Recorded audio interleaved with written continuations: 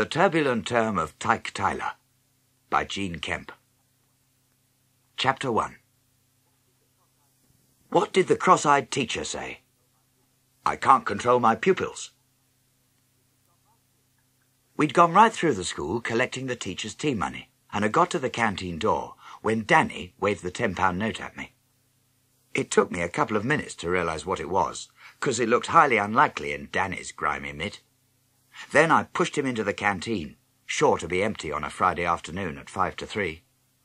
The pandemonium of a wet school playtime died away, and we could hear the rain drumming on the roof instead. Where'd you get that, you nutter? Out of Bonfire's purse. She left it open on the desk, so I took it. No one saw me, Tyke. Only he didn't say it like that, for my friend, Danny Price, speaks worse than anyone I know. Speech defect, they call it. When he counts, he goes dun, do, dee, daw, dive, dix, devon, and so on. And there he stood, in the canteen that smelled of boiled swede and cabbage enough to make you throw up, saying, Do da did it, do da do dee, ringing all manner of alarms inside me. I shook him. The tea money rattled in its tin, and at that moment a crowd of undersized Chinamen streamed towards us, shouting, pushing, kicking. The second year doing Aladdin again, I suppose, unless it was everyday life in red china for a change. I grabbed the ten pound note and stuffed it up my sweater, where it made a crunkly noise that I didn't like at all, and the boiled swede and cabbage smell stank so strong that I had to get out fast. So I pushed him into the corridor again. Don't you see? Don't you understand, you idiotic imbecile? I shouted through the screeching din of 3H, practicing ten different tunes on recorders in the next classroom.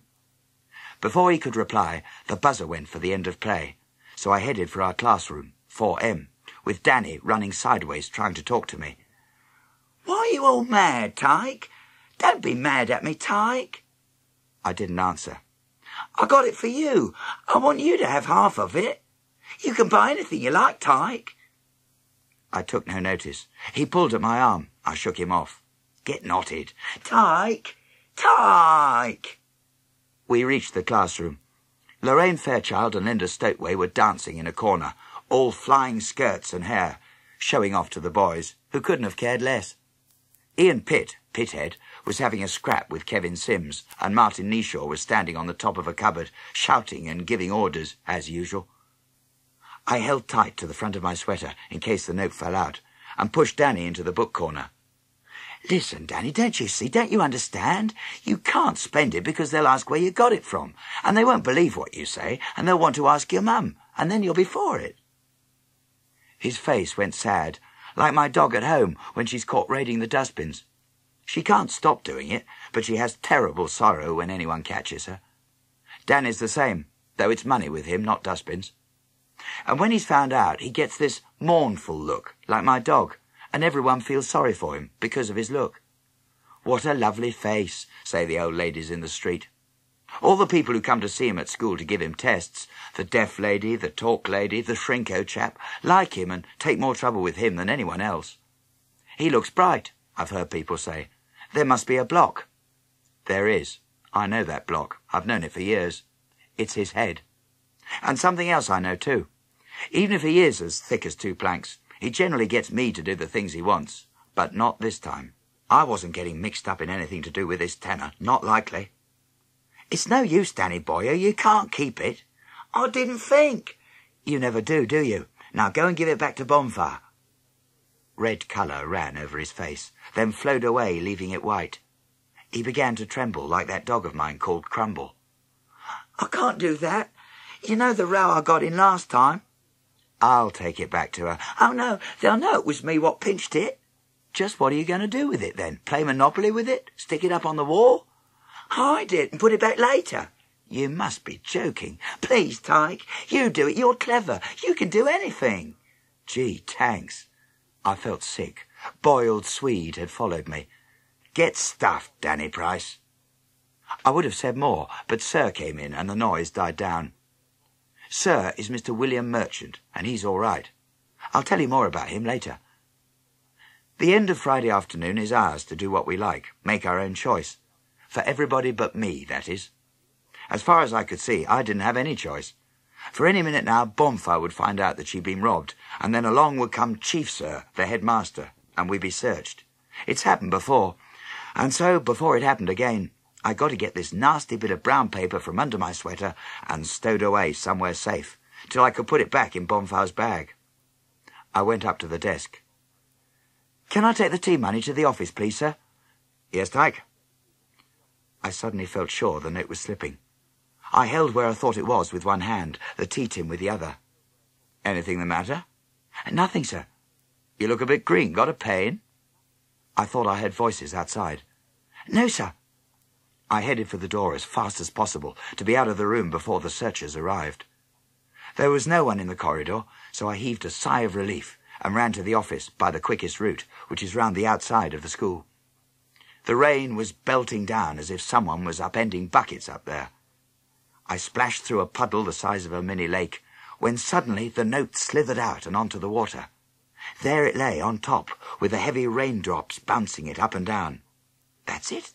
The answer, I thought. I'll just leave it there for someone to find. All solved. And mincing round the corner, boots on feet, umbrella over her head, came Mrs. Summers, my last year's teacher and my deadliest enemy. She skimmed towards me over the shining tarmac. I scooped up the note faster than the speed of light. Oh, it's you, is it? What are you doing out here? Taking tea money. Don't mumble, child, and look up when a member of staff speaks to you. I looked up and got a mouthful of rain. Now don't play about. Hurry along to the classroom. She used my real name, the one I hate, so I pulled my worst, most horrible face at her.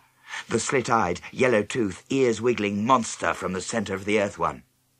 After she'd gone, of course and I practiced willing her to drop dead by my fabulous willpower. But it didn't work. It never does. She was still alive, and I'd still got a ten-pound note under my sweater. I was just about to let it fall in a puddle once more, when Sandra Hines from 4P, the parallel class to ours, joined me, jabbering all the way to the office. I didn't answer. What were all these slobs doing, wandering about in the pouring rain? Where could I be alone to hide a soggy tenner in peace? And the answer came to me, clear and strong. In the bogs, of course. So I web-footed along in that direction. But I'll explain a bit. Our school is one of the oldest in the country. State schools, that is. So old that it has beams in the roof, which leaks when it rains, and windows so high that you can't see out of them. And the bogs. Well, you'd think they'd been built in Roman times except that Sir tells us that these Roman guys were fantastic plumbers, so it seems more likely that they date from the Dark Ages instead. Rusty, corrugated iron roof, worm-eaten seats, flaking, whitewashed walls, wreathed in snaky pipes lagged in old sackcloth, and above all this, a loft, high up and hard to get at, stuffed with books, chairs, scenery, costumes, papers, pictures. Old Bugsy, the caretaker, goes up about once a year on a ladder. I've been up there as well. I think I'm the only kid in the school that has. You see, I like climbing. It feels good. So, bearing in mind that at any moment somebody might find out about the missing money, I clambered onto a cistern, over the pipes, up to a gap, swung across quite a wide space, climbed a bit more, and was suddenly there among all the junk. I didn't hang about. I pushed the tenner behind a picture of that sailor pointing out the Atlantic, or some other sea, to Sir Walter Raleigh. And in no time at all, I was back in the classroom, leaning over Danny, who was colouring a bird with a blue felt pen. What's that? A kingfisher? No, a robin. They're brown and red, Twit. I like it blue. I bent nearer and lowered my voice. It's okay. I got rid of it. What? What you got rid of, Tyke? I went to hit him, but then a look came over his face like Leonardo with a new invention or Einstein solving a problem. Oh, yeah, I know, the ten... Shut up, you half-wit. Sir looked up. Leave Danny alone. He was working well till you disturbed him. And Tyke... Yes, sir? Go and dry yourself. You're dripping everywhere. In the cloakroom, I rubbed my hair and face with a scratchy paper towel and considered the unfairness of life. This is a very interesting subject, and one I spend some time on, especially at school, though there's a fair amount of injustice at home as well. And when I got back to 4M, the headmaster had arrived, with Miss Bon, Bonfire, Bugsy, the caretaker, and Mrs. Summers, yak, yak, she would have to push her nose in. They all had faces as long as stretched elastic. Bonfire's been crying, hissed Linda Stoteway. I looked. She was right. Bonfire's eyes were as red as her hair. I want you all to listen to me, said the headmaster. He told them about the missing money. Does anyone want to own up now to save trouble and unpleasantness later? I looked around with interest to see if anyone would, and then remembered, with a horrible lurch in my stomach, that they weren't likely to, were they? After some moments of complete and beautiful hush, he turned to Sir. If the money has not been recovered by the time I've seen all the classes, then I'll send a message to you that all desks, bags, pockets and coats are to be searched. No one will be allowed home till everything has been checked. Uproar broke out when he and the others had gone. Don't see why we should stay in. Tisn't fair. Wasn't me who took it. Someone out of Bonfire's class. She looked as if she'd lost a tenner and found fivepence. My mum says it's a temptation to others to leave your money lying about. Your mum is an old boot. Sir told us to shut up at this point, and we sat quietly waiting to be searched.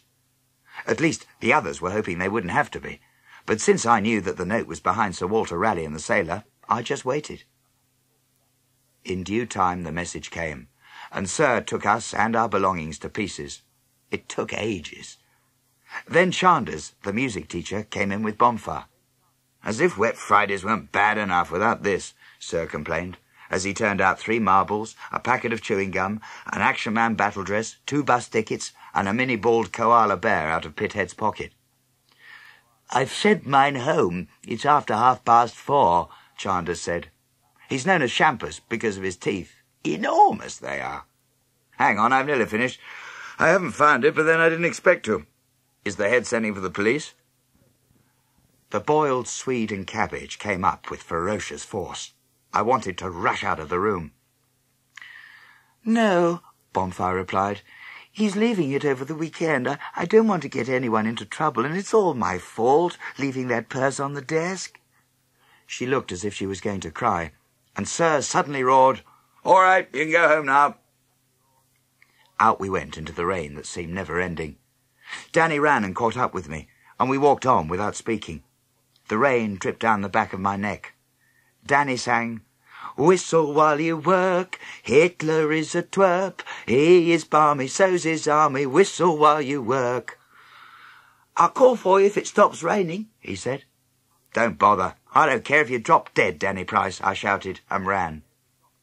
He called after me, but I didn't listen. I was a super being from the advanced planet Narandia, and I could zoom at a million miles a minute. Zooming is faster than anything at all, even faster than the speed of light. Danny can never catch me when I zoom. Dog Crumble waggled all over when I got in, so I chased her all over the house and rolled with her on the floor till Mum stopped us. Then we sat by the fire and she licked me. Sometimes I think Crumble is better than anything, though I wish she looked fiercer, as she couldn't frighten anyone at all. She rolled on her back and I rubbed her tum, which is a bit fat because she's so greedy. Like I told you, she steals out of dustbins. She rolls them over and knocks the tops off, and then gets at the old tins and all the rubbish. When's Dad coming in? Late. He's got a meeting. Why? Want to ask him something? Eat up your tea. I'm not hungry. Beef burgers are your favourite. I'm not hungry. I'll finish it if nobody else wants it. My brother Spud is always hungry. He's two years older than me and at the Dawson Comprehensive, where I go next term. My sister Beryl's at the sixth form college. She's bossy, but better than Spud. He's horrible. I mooched round, restless. There wasn't much on telly. I didn't want to read or play with anything. Beryl was playing records in a bedroom, so I went in and watched her sticking false eyelashes on with adhesive in a tiny tube. You look stupid. So do you, foolish fool, wretched wretch. Don't get your knickers in a twist. Don't get your nappy in a niggle. I gave up. I couldn't get any go into it. All I could think of was the tenner lying behind the picture up in the loft, and Bonfire who'd been crying. Funny for teachers to cry. You don't think of them as being human like that. Perhaps you don't want them to be human. Mum called up the stairs. Tyke, take the dog for a walk. Spud can do it. He's got his homework, whereas you're messing about doing nothing. Off you go. Ah, yuck, yuck. But I got out the lead and put it on her, while she jumped up and down, wriggling and waving all her fruffly bits on her legs and her chest. Outside, a wind was blowing away a few last scuds of rain. We ran along the road where it follows the river. On one side of the road is a sheer rockfall, and on the other the two weirs, Walter and Black Allah, about a hundred yards apart. You can hear their roar long before you reach them. The water was high, rolling along at tremendous speed, beer brown with churned up mud. It levelled almost with the banks, then threw itself over the weirs, taking logs and branches and strange rubbish with it. Below Black Allah, a wave was held motionless in a curve of the bank, caught by the force of the current. I stood and watched for a long time, Crumble pulling at the lead from time to time. The river in flood is the most powerful thing I know. All the mucky feeling about the money washed away as I stood there. Nothing mattered very much, except the noise of the water, and the wetness in the air, and the willows blowing in the wind on the other side of the bank. Crumble whined. She wanted to be off the lead, but I didn't dare with the river so near and her so stupid. She'd be over the weir with the rest. We moved farther along into the big fields, and I let her loose, and we ran and ran and ran. As Dad came in, I jumped on him from behind the door. You crazy fool, you trying to flatten me? We wrestled in the hall. Submit, he said. I submitted. Dad? Tyke? Would teachers miss ten pounds if they lost it? Yes, now bed. Day's long enough without you at the end of it. Horrible. I pinched his ear, then moved fast as he pushed me up the stairs. Good night, Tyke. Night, Dad. I knew quite clearly what I had to do as I fell asleep. On Monday morning I got to school early. No one was in the box. I climbed up into the loft and looked round. It had all been changed. The sailor and Sir Walter Raleigh had gone. So had the ten-pound note.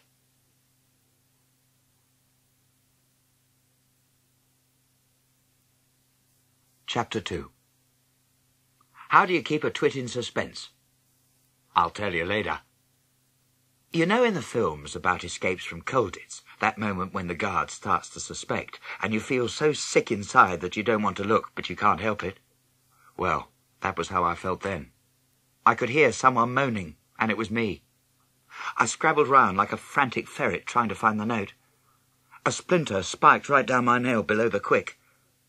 But as I searched, I began to feel that there never had been any ten-pound note that Danny had stolen and I'd hidden. I was just completely round the twist up here in the loft, among all the old junk of school long ago. What I had to do now was to get down and out and forget all about it. People were entering the bogs now. Voices, feet, running water. I climbed down at speed, landing silently, cat-footed, unnoticed. I looked at my watch that Mum got with Green Shield stamps. It was still early. I pulled the chain and walked outside. Bugsy, the caretaker, stood there. Are you a ghost or something? I've been here some time and I didn't see you go in. Just related to the invisible man, I said, walking round him and into the playground. Danny ran up to me, a newspaper parcel under one arm. Guess what I got, Tyke? Fish and chips. They'll love you in assembly. It ain't fish and chips. The shop don't open till twelve. Guess again. He grinned all over his face and said, It's a bone. A bone for Crumble. He unwrapped it, newspaper dropping everywhere. I told a first form kid to pick it up, because Chief Sir has a thing about litter. It was a ginormous bone, brontosaurus size. I doubted if Crumble could even lift it off the ground. It's a marrow bone, Tyke. And just where am I supposed to keep that all day? Along with the tenner that's disappeared? He looked at me blankly, not a clue about what I was saying. Then the whistle blew, and we had to stand still in silence before walking in to registers and assembly. I stuffed the bone in my shoe bag, where it stuck out at the top. Our class filed down to the hall where the stereo was blasting out and there on the wall, the back of his head staring straight at me, hung that sailor pointing out the wide, wide sea to the young Sir Walter Raleigh. I nearly turned and ran right out of the hall. I felt very ill indeed. I ruffled the pages of the hymn book and tried to think. The head must have decided to change the pictures in the hall, so he sent up old Bugsy to fetch the one from the loft, and he must have found the missing money behind the picture. I bet that surprised him. Still, perhaps now that it had been discovered, everything would be all right. I hope so. I couldn't do much about it anyway. We started to sing the hymn, Father, hear the prayer we offer, not for ease that prayer shall be, but for strength that we may ever live our lives courageously. Well, that's what I needed. Strength. Danny brought a mouse out of his pocket. Fatty, his big black and white piebald. The head was saying, God, I shall be very busy today. Danny placed the mouse in the middle of Linda Stotway's yellow hair, waving in front of him. I may forget thee, but do not thou forget me.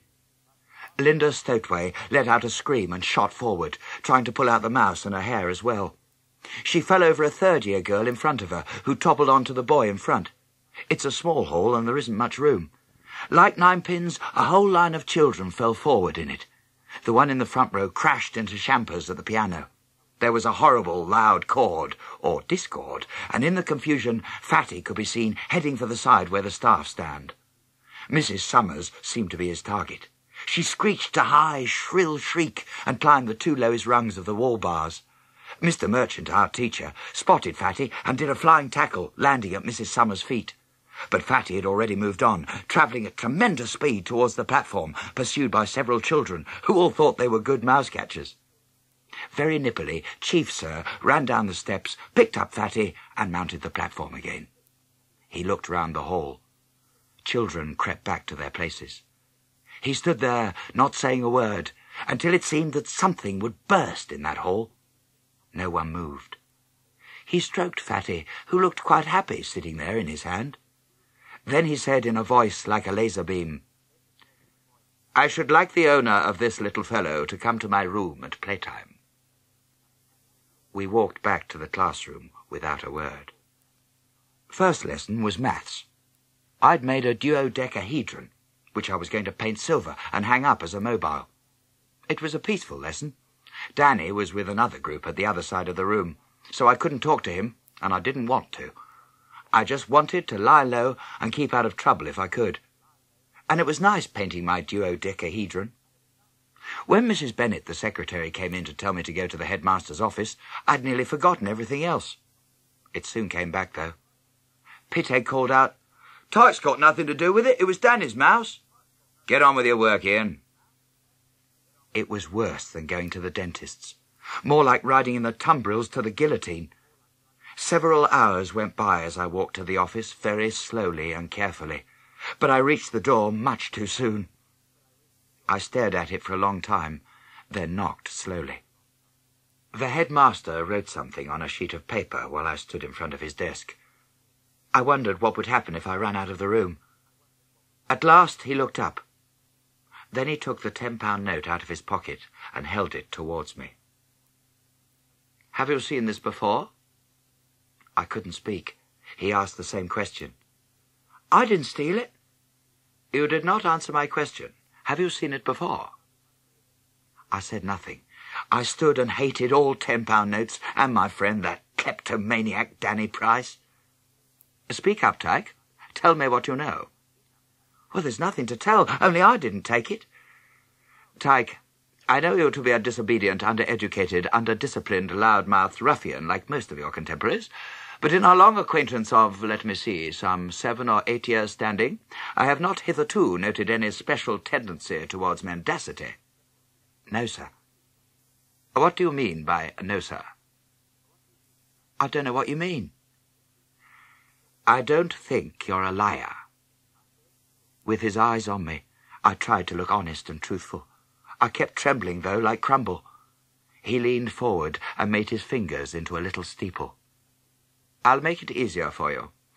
Mr. Buggett, the caretaker, found the missing note behind the picture of the boyhood of Raleigh, where it had presumably been placed by someone.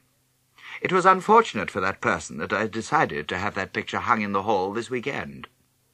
And when it was brought to me, I thought of you, Tyke. For of the many children I have taught over the years, the only two capable of getting into that loft without a ladder, which was locked in the storeroom, are your brother, Stanley, now happily removed to another establishment, and yourself. Your sister Beryl was not so athletic, though considerably better endowed intellectually. What have you got to say? There didn't seem much to say after that lot. Come, come. Tell me about it. You didn't steal it, but you did put it in the loft, didn't you? His voice was quiet, gentle, like that deepest dark green bend in the river, where you must never swim because the current is death there. I stared at my shoes, right toe worn nearly through. Yes. Good. Now we're getting somewhere. He pressed the buzzer, and Mrs. Bennet entered. Fetch Daniel Price from 4M. I opened my mouth and closed it again. He turned and watered a nasty little plant on the window sill with a teapot. How is your father? Is he standing for the council again this year? Don't know, sir. Don't know? Where's your sense of civic responsibility? Don't know, sir. But no, I suppose you wouldn't. Never mind. He turned on me like a whiplash. What made you hide that money for Danny Price? His voice roared through my head. The trembling shook me again. At that moment, a loud knock sounded on the door. The head didn't answer, which means wait but the door flew open, and in rushed Danny, dud-dudding like a machine gun. Very politely, the headmaster said, Would you repeat that, please, Daniel? Daniel repeated it. The head sat down carefully. Then he looked at Danny and took a deep breath. Now, Danny, uh, let's take it slowly, shall we? A word at a time. Danny says that it wasn't my mouse, it was his, I said very quickly because I thought that if I heard Danny taking it slowly, a word at a time, I should go mad. And the headmaster too, most likely. Daddy! cried Danny, rushing to a goldfish bowl perched on a pile of exercise books. Inside it, the piebald mouse was on a circular tour. He means Fatty. That's the mouse's name, I explained. I was feeling much better, for the headmaster didn't seem nearly so fierce now. More astonished, really. He took another, deeper breath. Do you mean to tell me, Daniel Price, that you're responsible for that, that circus in the hall this morning, as well as stealing a large sum of money, causing Miss Bond considerable distress? Danny now had the mouse in his hand, and was stroking it. He lifted up his face to Chief Sir, and his eyes swam with tears. I didn't mean that they did not die, he whispered, his face so full of woe that would have made a bloodhound look cheery by comparison. The head turned to me. Is he always as bad as this? What on earth is he saying? He didn't want to make Miss Bond cry. He likes her, you see, and he isn't speaking very well just now because he's upset. He isn't alone in that, said Chief Sir, wiping his brow with a blue handkerchief. Please, sir. Yes, Tyke? He didn't mean to take the money. It was only because it was there in front of him, and I hid it in the loft so that I could put it back when things had gone quiet. Only it all went wrong. I see. Well, it seems we had better begin at the beginning. Go and fetch Miss Bond and Mr. Merchant for me. This is going to take some time. It did. Most of the morning. I was let off with a caution, and a note was written home to my dad, which didn't exactly make me want to sing for joy, but it could have been worse. Miss Bond kept sticking up for Danny, saying what a dear boy he was really, and that it was her fault for leaving a purse open on the desk. Danny's eyes filled with tears, creep, and he promised to be good for ever. So he was let off with a warning that if he ever stole again, the police would be brought in. I got bored as they arranged more child guidance for Danny. At last they let me out. I ran along the corridor. Mrs. White had a fright in the middle of the night. She saw a ghost eating toast halfway up the lamp post. I wasn't singing loudly. Life, all clear and bright again, stretched before me like the first page of a fresh exercise book, with a whole new set of felt pens to use in it. I turned three cartwheels and ended up under Mrs. Summers' skirts. She was just coming along the corridor. She went grinding on for ages. I stood still and listened. There wasn't much else I could do. But when she seemed to have finished, she suddenly cried, Yeah, by the way, what's that horrid object, that bone, doing in your shoe bag? Linda Stotway brought it to me at playtime. You mustn't bring such things to school, you know. I opened my mouth and shut it again. What was the use? But later I did a half Nelson on the Stotway, while I recited slowly, Tell-tale tit, your tongue shall be slit, and all the little dicky birds shall have a little bit. When she said she was sorry ten times, I let her go. That evening, Berry took Danny and me for a row on the river. She was in a good mood, and she rescued me from Mum, who kept going on and on about the letter from school. Crumble nearly fell out of the boat, she was so excited. I watched the water curving as we went along, and thought about the unfairness of things a favourite topic of mine, as I've told you. You see, Bonfire took Danny home to tea to have a cosy chat with him, and he had ice cream and jelly and cakes and sausages, while I was kept in after school, writing lines for Mrs. Summers, the old rat bag.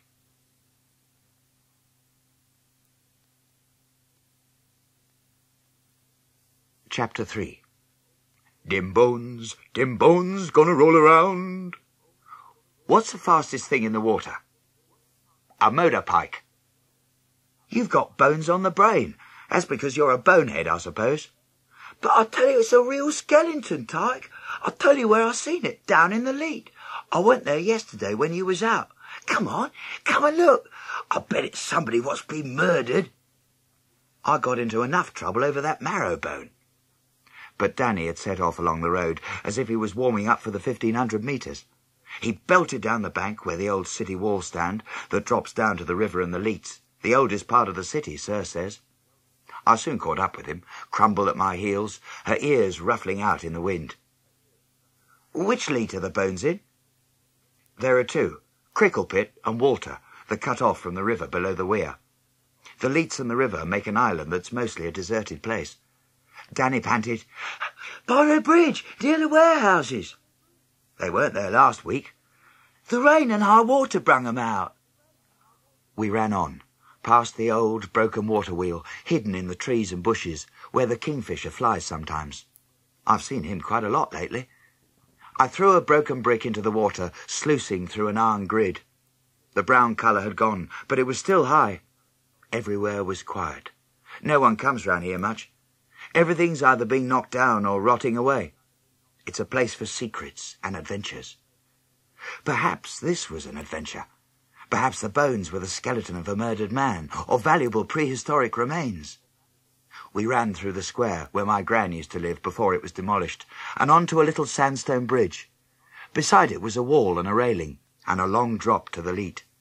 We climbed over and inspected the filthy water. There! There it is! Danny pointed at what looked like a huge set of teeth decorated with floating strands of green slime. Other bones were scattered around. Crumble made eeking noises on the other side of the wall, so I lifted her over. It's lovely, Tyke. It's a sheep, you nutter. It's like that one Martin Neeshaw brought off the moor and went round showing off. No, it's not. It's a man, I tell you. Somebody murdered that man and chucked his body in here, and he mouldered and mouldered away till he was that skeleton. It's a sheep. He took no notice. We'll be on telly. Danny Price and Tyke Tiler found a murdered skeleton. Do you think there'll be a reward? Crumble ran up and down the muddy bank, taking great interest in the bones as well. I didn't think she would leap off the bank, though, as it was a long way down to the water. You must know it's a sheep, Danny. But he wasn't listening. His face was white, and his eyes glittered.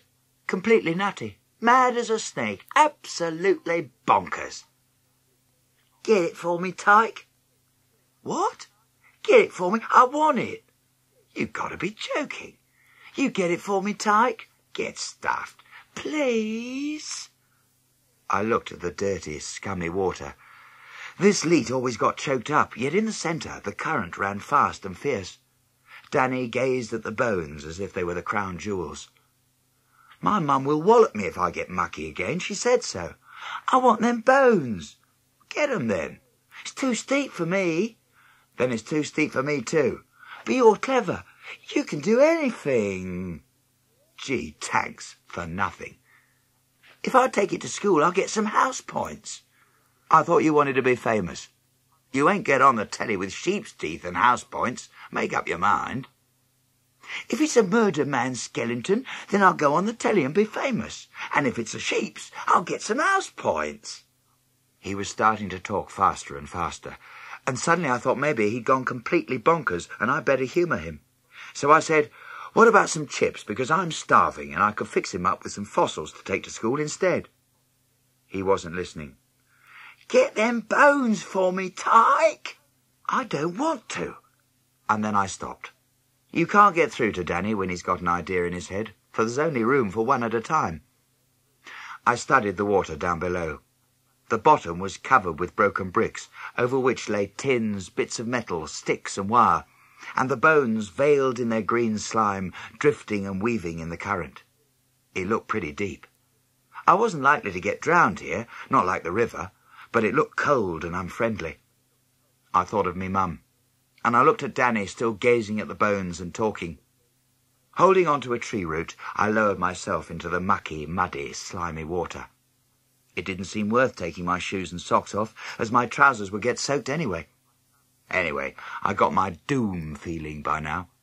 My doom feeling is when I know I'm slap bang in the middle of something that will lead to trouble, but I can't stop doing it all the same. I could hear my gran saying, You might as well be hung for a sheep as a lamb. She used to say a lot of things like that. Danny danced about on the edge of the bank. That's it, Tyke. You've nearly got him. There was a slithering noise and an enormous splash. A piece of weed hit me on the nose, and I was wet all over. Crumble had arrived to help. She lifted her nose in the air and started to swim, back legs kicking hard. She flurried all the water, and I lost the bones. I couldn't see a thing. You stupid fool of a dog, get out! I yelled. She swam round and round me, nose in the air. The water was icy, even through shoes, socks, and trousers. I reached into the mud and found the bones. It's the teethy ones I want. Danny jumped up and down. It stinks. It was slimily, horribly soft to the touch as well, a yellow jawbone with long teeth. I moved to the bank to hand it up to Danny. Crumble tried to follow this delightful pong, and getting to the bank, snapped at the teeth, then fell back into the water again. And the rest! Danny roared, hopping by now. I got the rest. They felt really horrible. They smelt worse. Danny cradled them in his arms, making little humming noises. I got a bag, he said, bringing one out of his pocket. He put the bones in it and gathered it to his chest. The bag went soggy. Crumble and I started to climb the bank. Danny went over the wall. Hey, give me a hand. He managed to remember me for a moment and stretched out a mitt, but the bank was so churned up with all his leaping about that he suddenly slipped and fell flat on his back, bones clasped to his chest. Down I crashed onto the slimy stones in that stinking leat. Crumble joined me, licking my face as I tried to get to my feet. Danny Price sat on the bank, laughing like a drain. Wild with fury, I travelled up that bank at a thousand miles per hour, dragging Crumble by a collar. I'm gonna exterminate you and bury you with your rotten old bones. I've got twice his speed, but sopping wet trousers and squelching shoes don't help. Crumble kept running in and out of my legs. I gave up and headed for home instead. Linda Stoteway watched from her doorway. You a mermaid, eh, Tuck? She giggled and collapsed on Lorraine Fairchild standing beside her. I tried to get in without being seen through the back door and up to the bathroom as quiet as a mouse with rubber boots on. Crumble I left outside to dry off, I hoped. Only at that moment me mum had just taken Aunt Marge to view our new posh lilac bath. Aunt Marge needn't have screamed as loud as she did. I've never liked her. Afterwards, Mum said it was that scream just as much as the sight of me soaked in slime that upset her. Danny got his house points, but after a day, Sir said he couldn't bear the smell any longer and would we take the bones away. We did. We took them to the leat and threw them in. I stopped Crumble from jumping in after them. I think them teeth are grinning at us, said Danny. I wouldn't be at all surprised, I replied. Dad says he hates the new lilac bath. and Mum must have been mad to choose such a colour.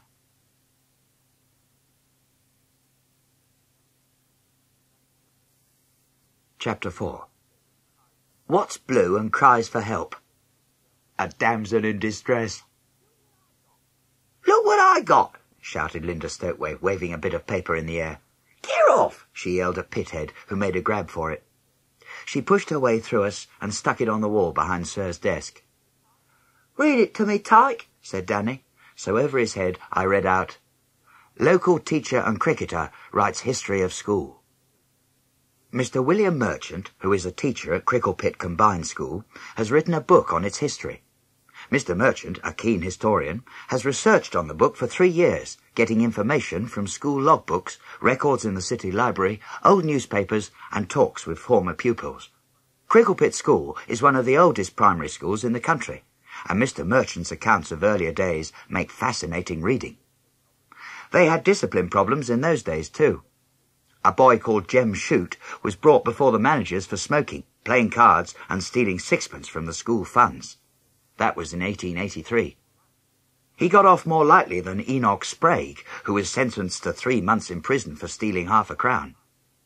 Thomas Tiler, caught climbing the school roof to ring the bell from the outside of the building, was whipped in front of the entire school and the managers.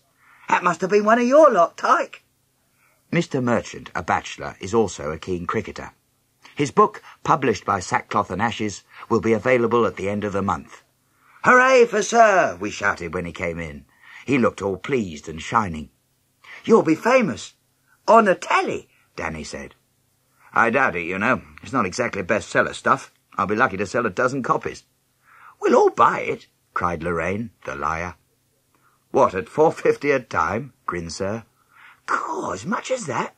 When's he coming out in paperback? I'll get it then. There will be some copies in the school library. You'll be my captive audience, for I shall read extracts to you. Sir? Yes, Tyke? When did they stop ringing the school bell? During the war, when bells were only to be rung if the Germans invaded. Then part of the school was damaged by a bomb during the Blitz, and it was decided that it wouldn't be safe to ring the bell again in case the bell tower had been weakened. Now it's over thirty years since it was rung. Oh, by the way, do ask your father if it was a relation of yours that climbed up on the roof to ring it. It may have been. But don't get any similar ideas, Tyke, or you'll end up being whipped in front of the school and the managers. There was a loud roar of laughter at that, and afterwards Sir went on to talk about the city and its history that seems to go back to the beginning of time. Wherever you walk in this city, thousands have trod before you. Think of all them cheeses on the ground. Puts you off, remarked Pithead. You have no history in your soul, Pitt, which, come to think of it, surprises me not at all, as I don't think you possess such a thing. However, I next want to tell you that the student we're having for the next five weeks will be coming in this afternoon to get to know you. A terrible groan went up, because we'd already seen her. Er's horrible, moaned Pithead. He put his head on the desk and made sick noises. That's enough. Now be fair and give her a chance. Pithead's right. She looked at us as if we was dirt. Thank you for your opinion, Tyke. Shall we get on with some work now? We'd rather have you, sir. I shall still have some lessons with you. Not enough. Well, we got to have students. We'll have to learn, don't they? Not with us, they don't. They can't keep us quiet, and then we get into trouble. Sir exploded like a volcano, and we got out our folders in silence. We came shouting and shoving into the classroom at 1.30. It was a windy day, and doors were banging and dustbin lids flying. And there stood this student, with Sir and the headmaster, who were both wreathed in smiles like the cats on the rooftops. And we were quiet. We sat down in our seats without the dicky bird of a sound, not because the head was there, but because of her. I don't much notice how people look. I either just like them or I don't. Danny and Crumble and Pithead have a nice look. Martin Neeshaw, Linda Stoteway and Lorraine Fairchild have a horrid look. Some people say that our Beryl is pretty. I wouldn't know. But looking at this one was like looking at sunshine, or a shop full of sweets when you're starving. The head nodded to us and went away smiling and humming to himself.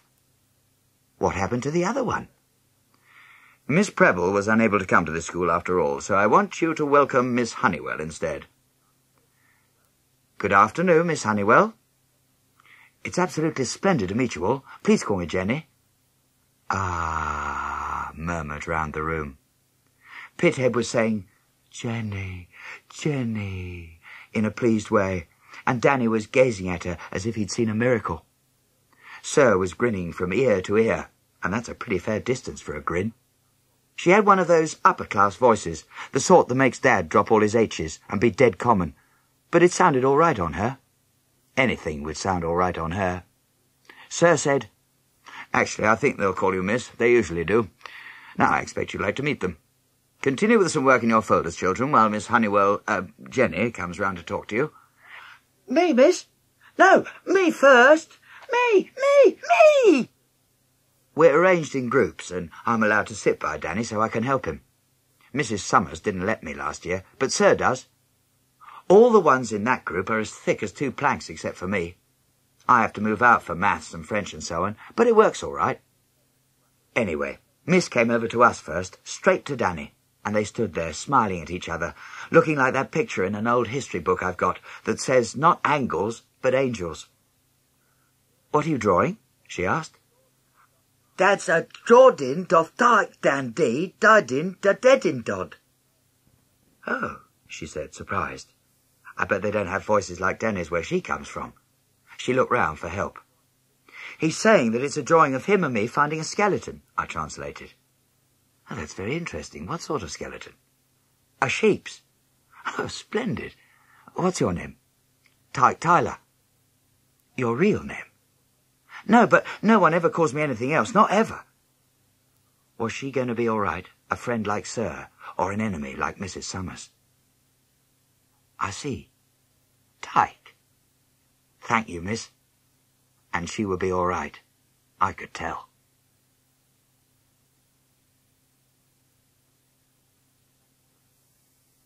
Chapter 5 What family does the gorilla come from?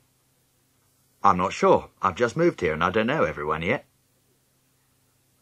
Every year our house breaks out in elections, like the measles or chicken pox. Posters on the window, stickers on the car. Dad's standing for the council, so here we bloody well are, sang Berry at full blast. Just you mind that language, miss, Mum shouted up the stairs. Crumble slid under the sofa. She doesn't like it when anyone shouts or gets angry or whisks the carpet sweeper fast. Dad's on the council, and he's got to be re-elected. And Martin Neeshaw's dad is standing against him, so this should be funny. He's called Grendon. What a name! Though it's not as bad as mine. My dad will win. He's fantastic, my dad. He's got a new agent this time. The agent tells everybody what to do. And up till now it's been old Mr. Cartwright, aged about 98, with false teeth that click up and down. But this year he told Dad he was past it, which was a good thing, as Dad would never have got rid of him in case he felt hurt. Anyway, there's this student instead, Richard his name is, and he's dishy, very dishy. And Berry's going out with him every night, canvassing, she says, working for Dad, when Mum asks what about homework then. I wouldn't mind being Prime Minister, Berry said after tea. Try finishing the drying up first. You spent ten minutes on that last plate, snapped Mum. I pulled the tablecloth off, so that it went all over Crumble in a great white tent. She galloped round the room, crumbs snowing everywhere. Mum belted me. Get this room cleaned up. I shall be late for work at this rate. She's a night nurse at the hospital, my mum. I bet the patients daren't even die when she's there, if she doesn't allow it. Spud's not doing anything. It's not fair. Spud picked up the Marvel magazine that he was practically eating, got off the sofa where he was sprawled out, kicked me on the ankle, and was gone. Mum didn't see, of course. She never does where he's concerned. Why isn't he helping? He's got a match. He's always got a match. He gets out of everything. One more word out of you, my... Mum began, but the doorbell rang. That'll be Richard, Beryl cried, rushing for the front door, while I made for the back one, so that I shouldn't get caught for some grotty task like addressing envelopes. I ran straight into Dad. Tyke, you're just the person I want. I've got some leaflets for you to deliver. I went back into the kitchen. What a life! Take Danny with you, and the dog. Dad went on cheerily, handing over hundreds of pieces of paper. Not all those. Don't pull that face. Learn to do something for other people for once, Mum snapped. She was in a heck of a mood. Any more jobs while I'm about it? I asked sarcastically. Yes, we need another loaf, else we shan't have enough for your toast in the morning. Get one from the off licence. She handed me some money. Any change? I asked, hopeful. I've given you the right amount. But my dad's softer than Mum, softer than Crumble's fruffles. Here's something for delivering the leaflets for me, he said. I put on Crumble's lead and picked up the leaflets, taking a deco at the top one, which was headed, Your Rents and Your Rates. How incredibly, spifflicatingly boring. No one in their right mind, even a grown-up, would want to read it. Might just as well chuck them all in the river. I tucked them under my arm, pulled Crumble with the other, and set off for Danny's house. Look out! he yelled as I kicked the door open. Fatty's among that lot. That lot was a collection of beer bottles, milk bottles, cider bottles, pop bottles in a corner by the sink. Fatty's nose twitched round one labelled Newcastle Brown. Keep Crumble on the lead. She might go for him. Crumble sat down and scratched herself. Got you! Danny cried, but he'd missed. He pounced again, and the bottles flew like skittles, crashing, banging, rolling, splintering into pointed daggers. Danny's mum flew in like an angry rhino, belted Danny twice round the head, and told us to get out, so we moved at speed. Then Danny turned, shot under her arm, made a last grab, and captured Fatty. Then we hopped it, Crumble's legs going like pistons. Danny's mum's a terror. We called at the off licence to buy the bread and spend Dad's money.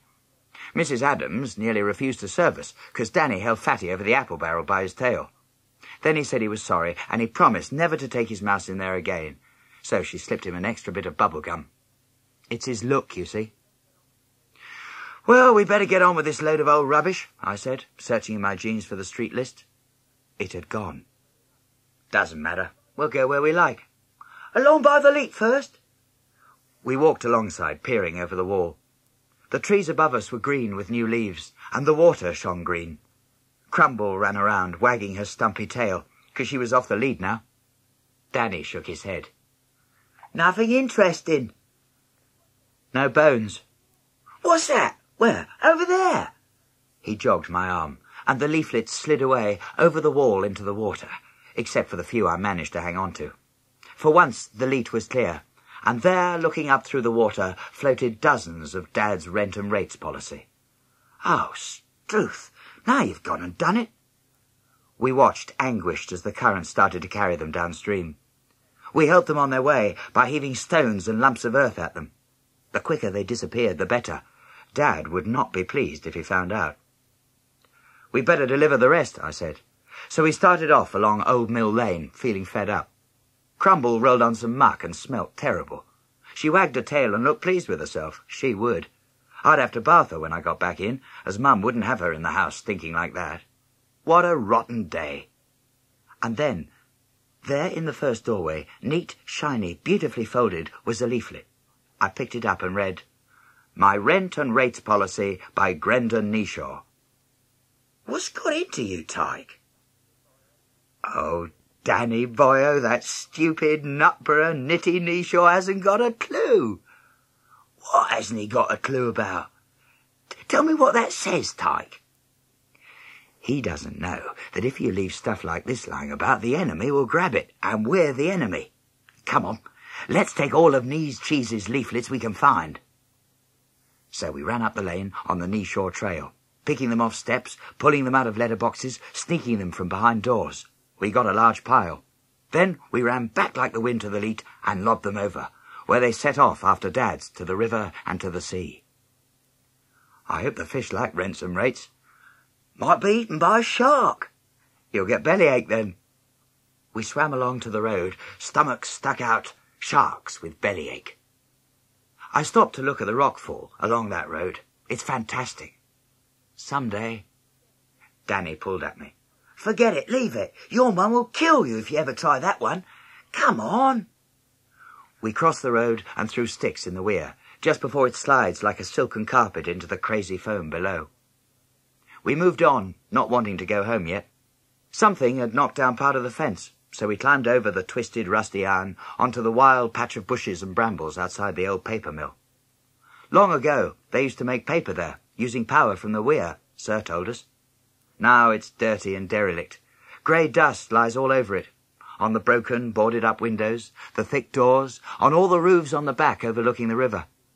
There's lots of them, with a tall chimney in the middle. Danny pushed open a door. We were inside. We'd never been in before. Crumble ran everywhere, sniffing and investigating, as she always does in a strange place. And this was strange. We walked on tiptoe and spoke in whispers. The ceiling was high above us, with dark beams like school. Bare bulbs dangled from it, furry with cobwebs. On the wall, a clock had stopped at half past three. Planks were piled up high in the far corner, and Times was painted on a large notice board near the clock. It wasn't as dark as you'd think. Light came from the ceiling windows and cracks in the boards over the windows. Look out, Danny! There's some broken floorboards here. Come back, Crumble! I shouted suddenly as she ran through the far door. My voice sounded all queer in the big, empty, dirty room. I followed Crumble through a flaking dark green door into another, smaller room. Crumble's ears had made trails through the dust which she sniffed along the floor. Tyke, Tyke, let's go back. I just want to look and then I'll come. I followed the dog. She went up a wooden staircase. One step was missing. I put my hand on the wooden stair rail and the dust felt soft, feathery. Behind me a voice whispered, Do you think there's a ghost, Tyke? Course not. He looks ghosty. I don't like it, Tyke. Just this bit more. We came to a landing with two or three doors off it, all closed, and a square sort of trapdoor in the wall. Crumble pushed at it with her nose. The door lifted up and back, and she went through. The trapdoor came down again behind her stump tail. I heard her eek on the other side. I crashed down and through the door at the speed of light, praying that it wasn't the weir below. The roar of the falling water was much louder here. Above it, I could hear a wail from Danny behind. Crumble was in a very small room with a sloping ceiling like an attic. Several wooden boxes were stacked in the corner, and sacks and piles of old paper lay on the floor. In the wall, going right down to the floor, was a window, curved at the top. I looked through the grimy panes. The roar came up at me, loud and strong, full of power. The room was directly above Walter Weir, and I realized that it was getting dark. Night had crept down without me noticing. I grabbed Crumble's collar and turned to Danny right behind me. His eyes stuck out on stalks. Let's go, I said. Outside, I put on Crumble's lead and we ran. Don't tell anyone, Danny. It's going to be our secret place. It scares me, chicken. No, I ain't. I ain't scared of nothing but them ghosts in there. There ain't any ghosts, Nutter. I don't like it. Danny, forget your old ghost. Just think, if there was a war, we could hide the gorillas in that room. What's gorillas? What's gorillas doing in a war, Tyke? Not jungle gorillas, stupid. Guerrillas. Freedom fighters. Oh, I don't want to be a freedom fighter, nor a hairy gorilla. I just want to get home and watch the telly. We've missed some good programs tonight, what with your dad's leaflets and your rotten mill. Stop griping. We're going home, aren't we? I'm glad. But I stopped dead. What's the matter, Tyke? We've left that blooming bread somewhere. You'd got it. Where'd you leave it? I don't know. Oh, Tyke, let's go home. No, I daren't go home without it, and you're coming with me, back to the mill. I grabbed him and began to drag him back the way we'd come. Crumble whinged. She didn't want to go back either. It was getting dark now. The rockfall and the trees loomed on the right, and the mill on the left. The roar of the weirs was all about us. Don't make me go in again, Tyke, please. I pulled him in through the railings. The place looked dark and sinister. I didn't want to go in either. Crumbles stopped sharply and investigated something. She tried to pick whatever it was up but it was too big even for her mouth. The loaf. Lots of people were in the house talking loudly. I crept into the kitchen and put the tooth-marked dusty loaf on the table. I wiped it with a dishcloth, but it didn't seem to do much for it. Not that I cared any more. I was knackered, and all I wanted was sleep. If Spug got to it first, that would be all right, as he'd eat anything. I got into bed, curling round in a bend, thinking of the room above the weir and what I'd stock it up with if I was a gorilla hiding up in there.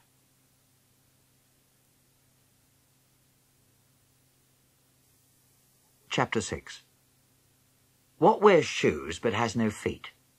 A pavement. Our class stood at the foot of the hill, under the park trees with their new, shiny green leaves. Sir was speaking, eyes ablaze, hair like curly wire. There's no one like Sir when he gets going on history. Martin Neeshaw held a big grip with swords and helmets in it that we made ourselves. They carried it through the town, with the class walking along in a crocodile two by two, Sir at the front, Miss at the back.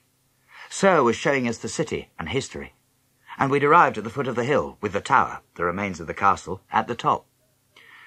You lucky bunch of so-and-sos, Sir shouted into the green hill. Never did any kids live in a place where there was so much history. Wherever you go, wherever you tread, adventure, tragedy, romance has gone before you. And they are all around you still. I want you to get the feeling in your bones, in your very bones, he bellowed, waking up an old tramp asleep on the bench. He shuffled towards us, clutching his bottle of cider, and sat down beside me and Danny. I want you to think yourselves back a thousand years or so. That's an awful lot. I can't count that much, said Danny. Picture this city. A small town, then. No cars, no television, no street lamps, rough houses and unpaved streets. The Romans wouldn't have thought much of it. What about pollution? No trouble with petrol fumes, but the drains were pretty bad. What was it really like, sir? About 400 houses and two and a half thousand people. The tenth largest city in the country. A rich city for the times. Good trade. And the year I want you all to put in your minds is the year, wait for it, the year 1066. The Norman Conquest. William the Conqueror. William the Bastard. The park gardeners put down their spades and listened. So, there we were, fairly comfortable. The Danish raids were finished, trade was doing well, tucked away here in the corner of the country. A fine guild hall, the citizens paying a reasonable tax to the crown, eighteen pounds a year. Of course, today that would hardly keep you girls in tights, would it? Three mothers with children in prams joined us. Then came trouble. Heard of Harold? Yes, Battle of Hastings, we roared. Good, good. As you know, William soon disposed of poor Harold, who was defeated with his eye full of arrow. William was top dog, and of course being a man of action type, forceful, ruthless, he set about reducing the English to where he thought they ought to be, under his feet, well trampled. Boo! Yes, he trampled them up north, and he trampled them down south, and then set about making everything organized and efficient, because he was that sort of a bloke. Just like you lot. Come off it, sir. Well, while he was settling London, over here in this neck of the woods, they were getting a bit restless. Perhaps because Harold's mum lived here and the people still felt loyal towards her. Where did she live? She had a house just along the edge of the ridge there. He waved his arm, and we stared at the green slopes and the quiet houses, and thought of Harold's mum. She was called Githa. Funny names they had in them days, Lorraine Fairchild said. All names are funny when you think about them, Sir grinned. He paused and looked at the crowd, which had grown even larger. What does your dad say when he has to pay the rates? Ian Pitt told him in a loud voice. Two of the mothers walked away, complaining. That's pretty much what the townspeople said when William announced that they got to pay more than eighteen pounds to him. They told William what to do? They did indeed. What happened then? The first thing the citizens did was to reinforce the city walls, those old red ones over there. The sun shone warm on them, on the pattern in the stone. Then William, who was a very arrogant man, remember, and not easily crossed, sent a messenger and this messenger said they must submit to William as their overlord. But the people answered that they would not submit, neither would they allow the messenger within the walls. A ripple of sound passed over us. Then we stood silent, waiting. Sir went on more quickly. So King William started a march across the countryside to settle this. And when William came a marching, it wasn't funny, for he laid waste all around him. The people made the city walls and gates even stronger. Then they waited for him to come. They were determined to hold out, but... But what? Come on, sir. Some of the governors got scared, windy, chicken. Boo! Boo! Down with the governors! And they went outside the walls to meet William, and they handed over some hostages as a promise of their good behaviour. Creeps! I bet they didn't want to be hostages. I bet none of the governors were hostages. I don't know the names of the hostages, Tyke. Hostages always got shot or blown up. Shows you on the telly, Danny put in. It's bad to be a hostage. They didn't get shot or blown up because there weren't any bombs or guns then, stupid nit, Neeshaw shouted. Well, the citizens wouldn't give in, and so William himself appeared before the city gates and gave orders for one of the hostages to be blinded in front of the people. Ugh, how horrible! Did he stick a hot iron in the fellow's eye? No, it was gouged out. Oh, sir! They were cruel times. But guess what happened next? You tell us. A most uncivilized citizen, probably an ancestor of yours, Pitt, made a rude gesture back at William. Like that, you mean, sir? Don't all do one, or you'll be turned out of the park. Bet old William was mad. Yes, indeed, it says in my book that his rage was greatly increased. And so, for eighteen days, he surrounded the city and besieged it, unsuccessfully. Tell me about sieges. Battering rams. Catapults, the big saw. Grappling irons. Scaling irons. Boiling oil. Starving people. Eating cats and dogs. And rats. I shouldn't like to have to eat my cat. Or my mouse fatty. Leaping over the battlements. Scaling the walls with ladders. Bows and arrows shooting from the slit windows. Good, good, you've got the idea. Who won? One of the gardeners cried out. We won, of course, we always do, and we beat the Boers and the Germans, quavered a very old man from the park bench. You've got the wrong war, Dad, Pithead yelled back. Shush, all of you. We've nearly finished our story, and then you can have your battle. In the end, neither side won. Neither side would give in. At last, William agreed to an honourable surrender, and swore on the sacred books of the cathedral that he would not harm the people, and that he wouldn't raise the tax to more than eighteen pounds. We won! Hooray! In a way, but William changed the country forever. He stood quiet for a moment, faces serious. Please, can we act the battle? Yes, get your armour. Uh, Neeshaw, pick a side, and let me see. Yes, Tyke, you pick a side. That's not fair. Of course it is. We chose our sides, Neeshaw and me. We'll toss for who are to be the English and who the Norman. I felt lucky. I was sure we'd win the toss, and we did. Kneebags pulled his ugly mug at me. I didn't care. We climbed the hill and looked down on the others, the enemy. William the Conqueror Neeshaw and his mob. Pithead beside me made a rude gesture of defiance, as Sir called it, and we rushed down shouting into battle. The sun was hot on the red walls. A great deal of blood must have flowed there. I ran for Neeshaw and banged his shield with my sword. Fight for Neeshaw! No, fight for Tiler and England, I called. I banged him on the helmet, and he fell backwards over a tree root and sat down hurriedly. I fell on him, and our armour got tangled up. I pulled his hair. His helmet fell off. The armour slid off us. Sir blew the whistle, and the battle was over. We lay stretched out under the trees. Sir said something to Patsy Drew and another girl, and they went off. When they came back, they got iced lollies for everyone. We lay and licked them under the shade of the trees, growing by the old red walls. Going back, we walked to the rhythm of Julius Caesar, the Roman geezer, squashed his wife with a lemon squeezer. It wasn't a bad sort of day.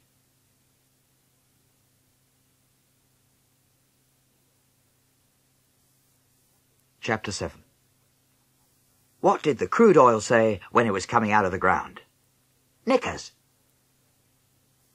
Next day it was pouring with rain when we woke up, and it seemed like summer was gone for good. Dad overslept and was late for work, so he and Mum went for one another like Punch and Judy before he slammed out of the house.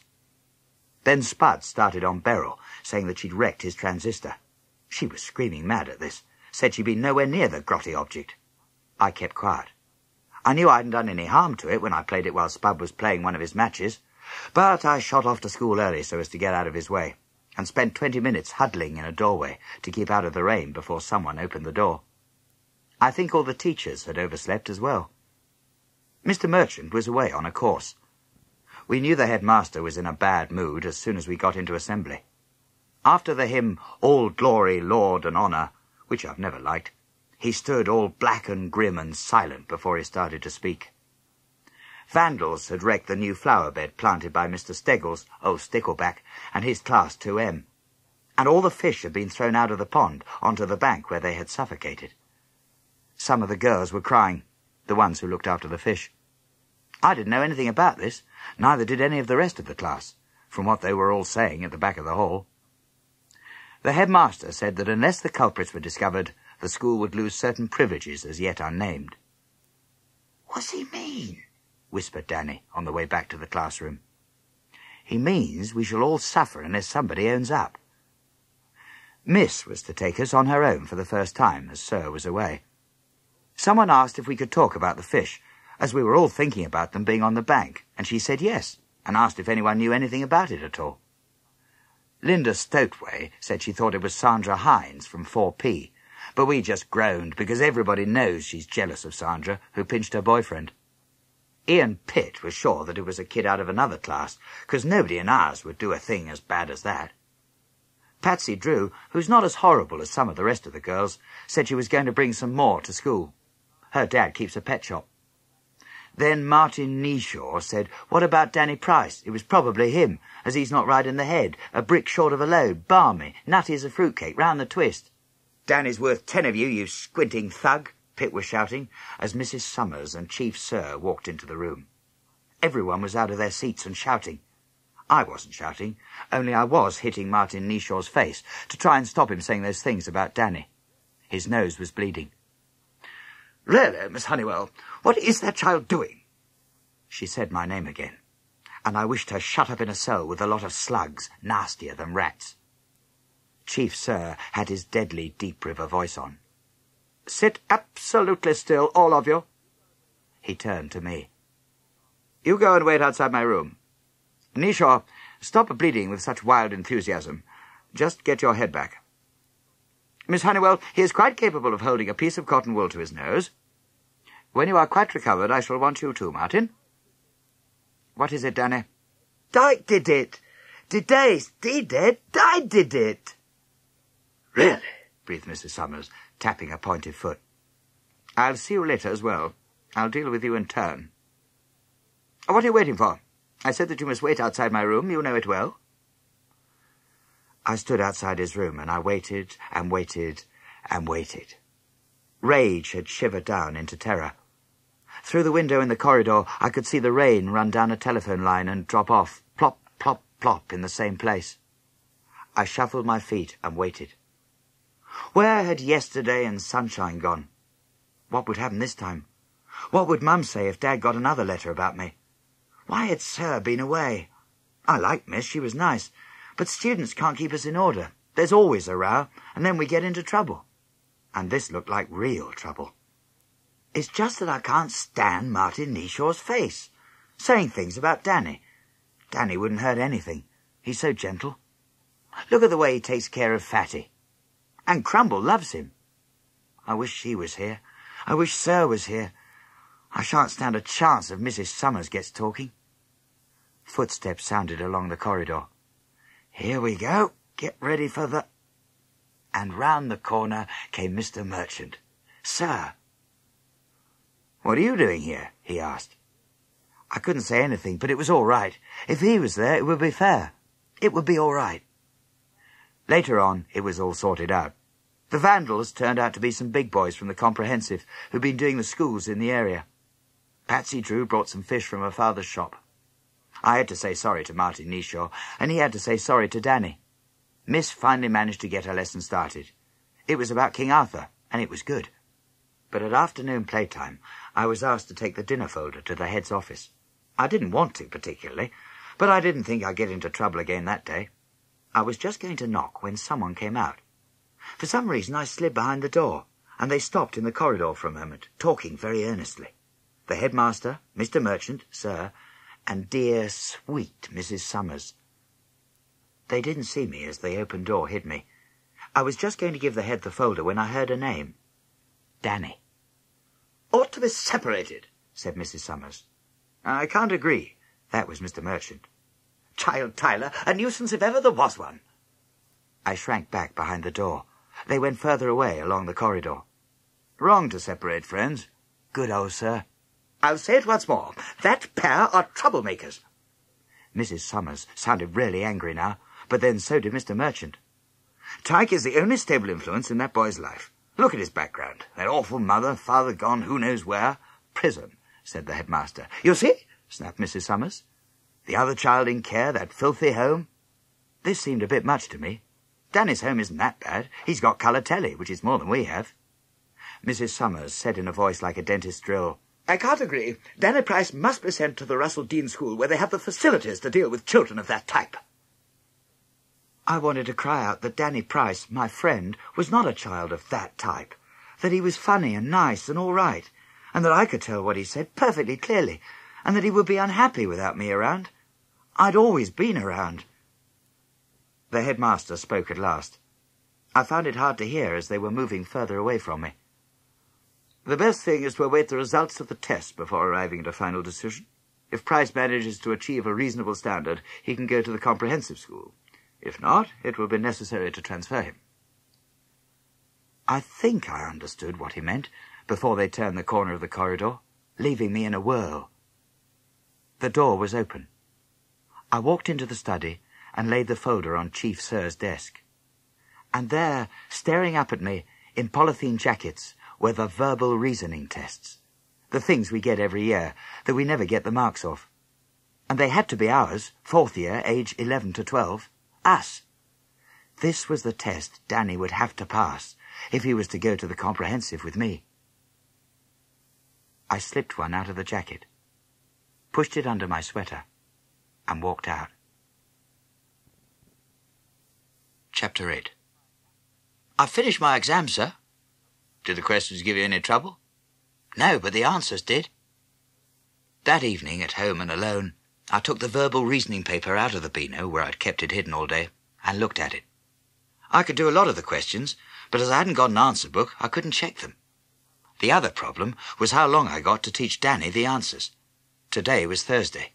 Big tests are always held on Wednesday or Thursday, so I'd probably got nearly a week. I lay on the bed and thought about this, then went in to see Beryl, who was changing her clothes while the Rolling Stones belted out at full blast. Don't come in here without knocking, she screamed. Sorry, turn it down, Berry, please. She likes being called Berry. Well, what's the matter? Get on with it, because I'm going canvassing with Richard. Please help me with these. Check the answers for me.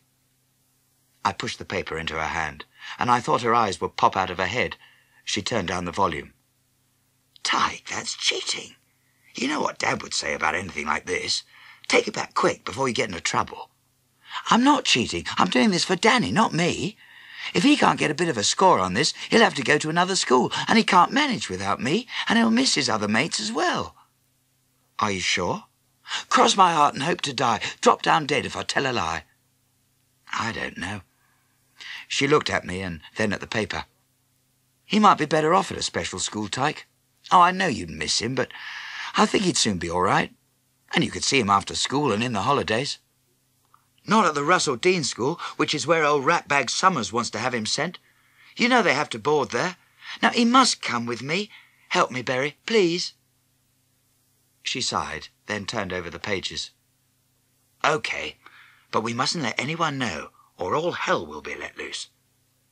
She worked through all the questions with me. She's the bright one in the family, so I knew she'd know the answers. Then I went to call for Danny.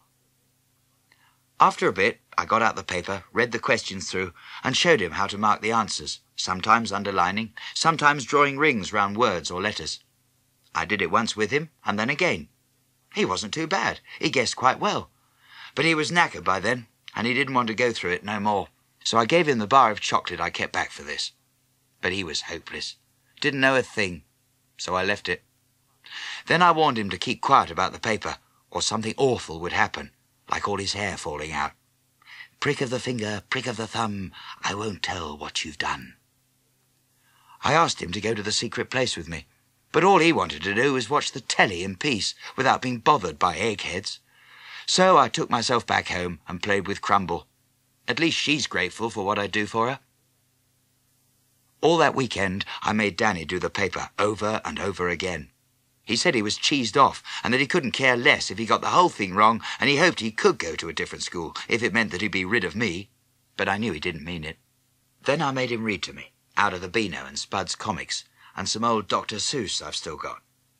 I bought a half pound of those chocolate drops with hundreds and thousands on that I call ditties, and every time he got a whole lot of words right, I gave him some.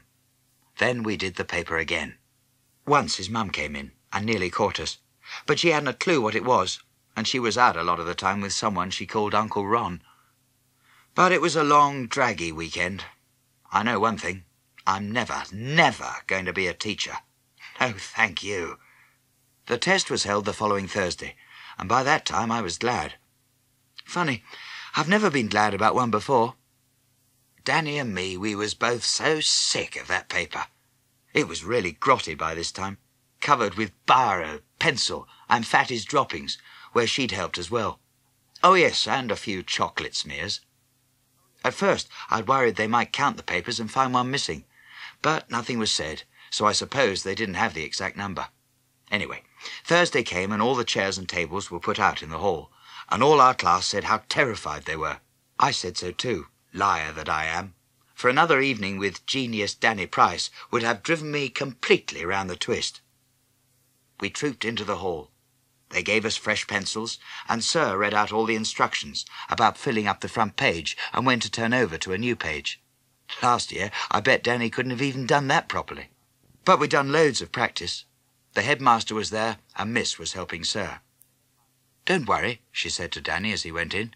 Just do your best. It wasn't him that worried, it was me. He sat two rows in front of me on the left, and I could see whether he was using the pencil or not. And he was. He was certainly riding something. I waited till he seemed to settle. Then I did mine. It didn't seem to take long, and then it was all over. That night was hot, and Danny and Pithead and me went swimming in the river, a long way upstream, far away from the weirs. On the way home, we had a scrap with Martin Neeshaw and Kevin Sims. No one said a dicky bird about the test.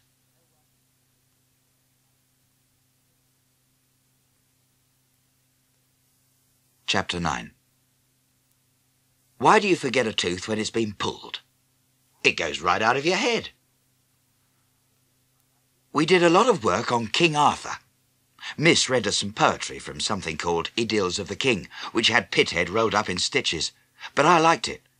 Then she read us The Sword in the Stone, which was fantastic, and she told us about the man who wrote it, who seemed a sad sort of guy.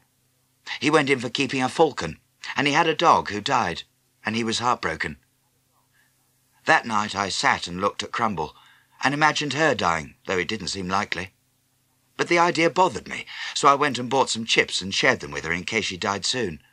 At least she'd know I loved her. She isn't supposed to eat chips, Mum says. Then I delivered some more leaflets. I'd done a whole lot by now, but it was better than addressing envelopes. It wasn't long till the election now, thank goodness.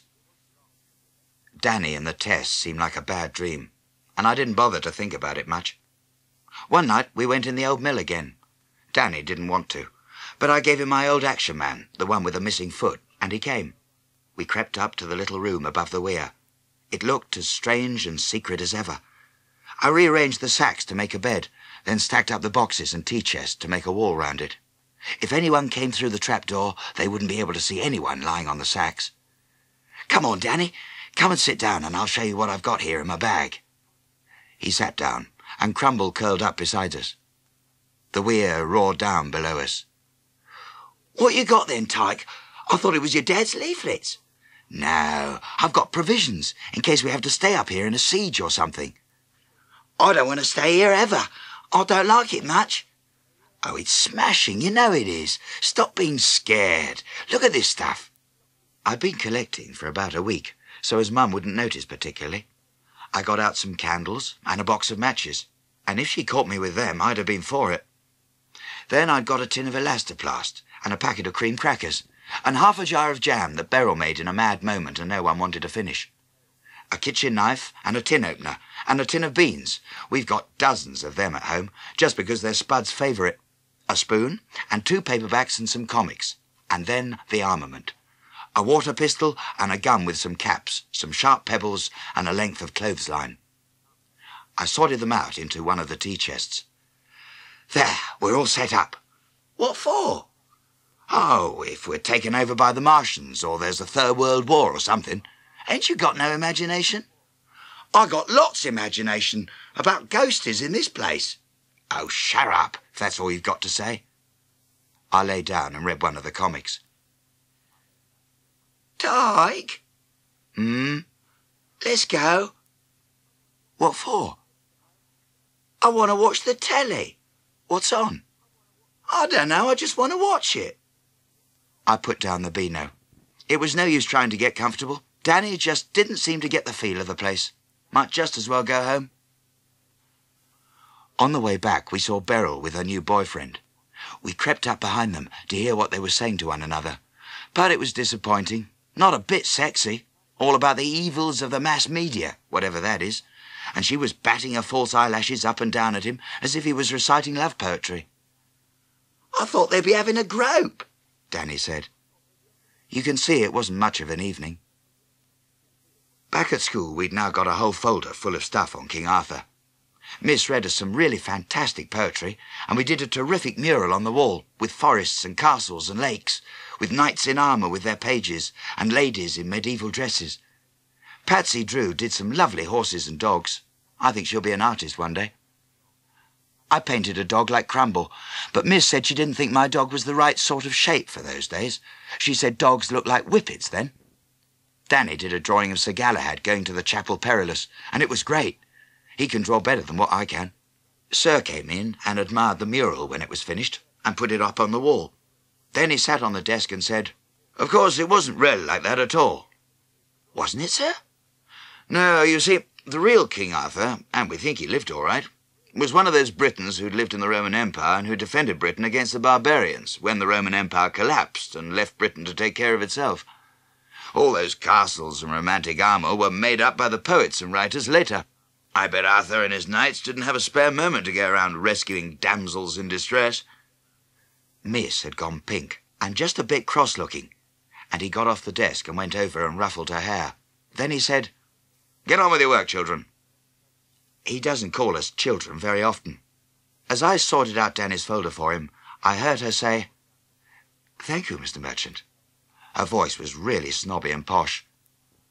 He was grinning. I don't like to get too far from the facts. Facts? Pooh! Ideas and imagination are what matter. He dropped his voice, but we could still hear. Have a meal with me tonight and we can argue it out. Every head was bent low. All ears were listening. Sometimes teachers think we're deaf and stupid. Little do they know. Next day, love hearts appeared all over the school wall that faces the front gate, with WM and JH inside them. Some humorist had also written something much worse in some more.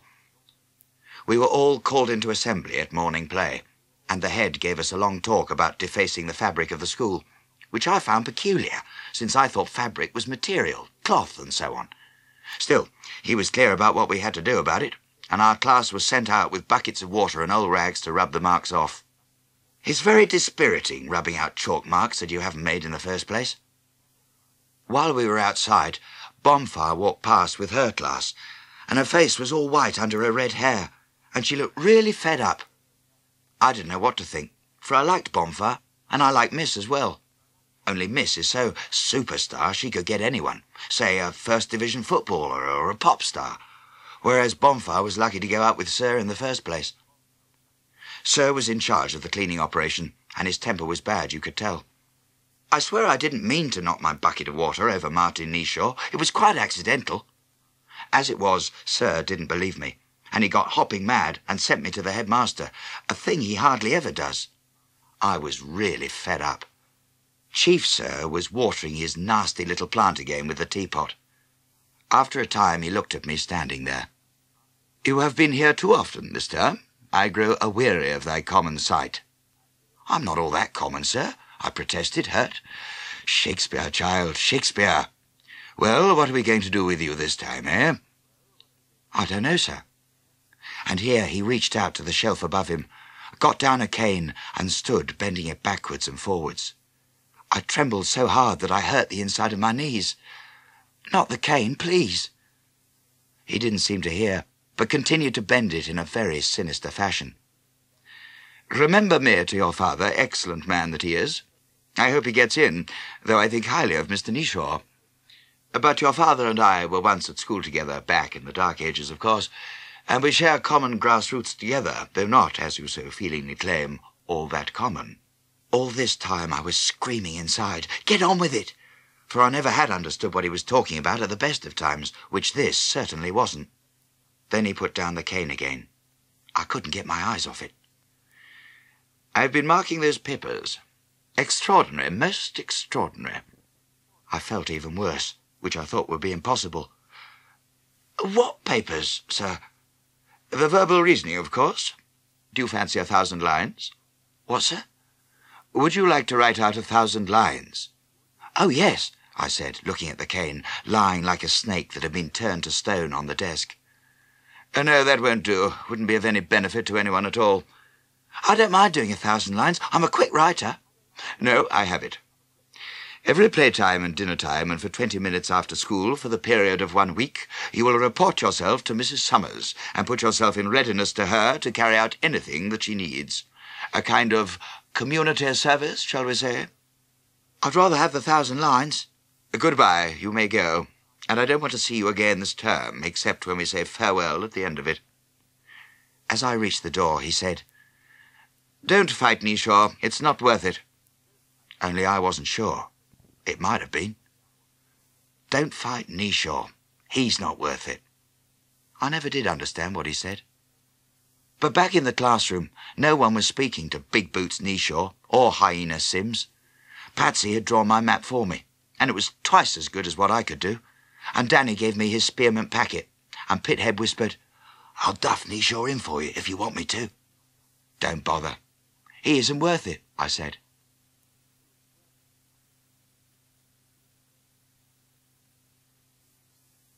Chapter 10 Oh, give me a home where the buffalo roam, and I'll show you a house with a very messy carpet.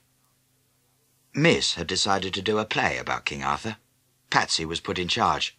Then most of us got together and argued all over the place. And in the end, Ian Pitt was chosen for King Arthur, Lorraine Fairchild for Guinevere, Martin Kneebags for Sir Lancelot. I didn't think much of that. Linda Stoteway for Morgan Le Fay, Kevin Creep Sims for Mordred, Sam Weston was to be Merlin, and Danny Sir Galahad. Miss was pleased, especially about Danny. Absolutely super. She said super but we didn't mind. You see, Danny, Galahad's strength was as the strength of ten because his heart was pure. I think that's like you. Danny went as pink as School Blancmange, and Pithead made his favourite sick noises, but you could tell Danny was pleased, because he walked round saying it over and over again, which got pretty boring, as you can imagine, especially the way he speaks. What about you, Tyke, and you, Patsy? What are you going to do?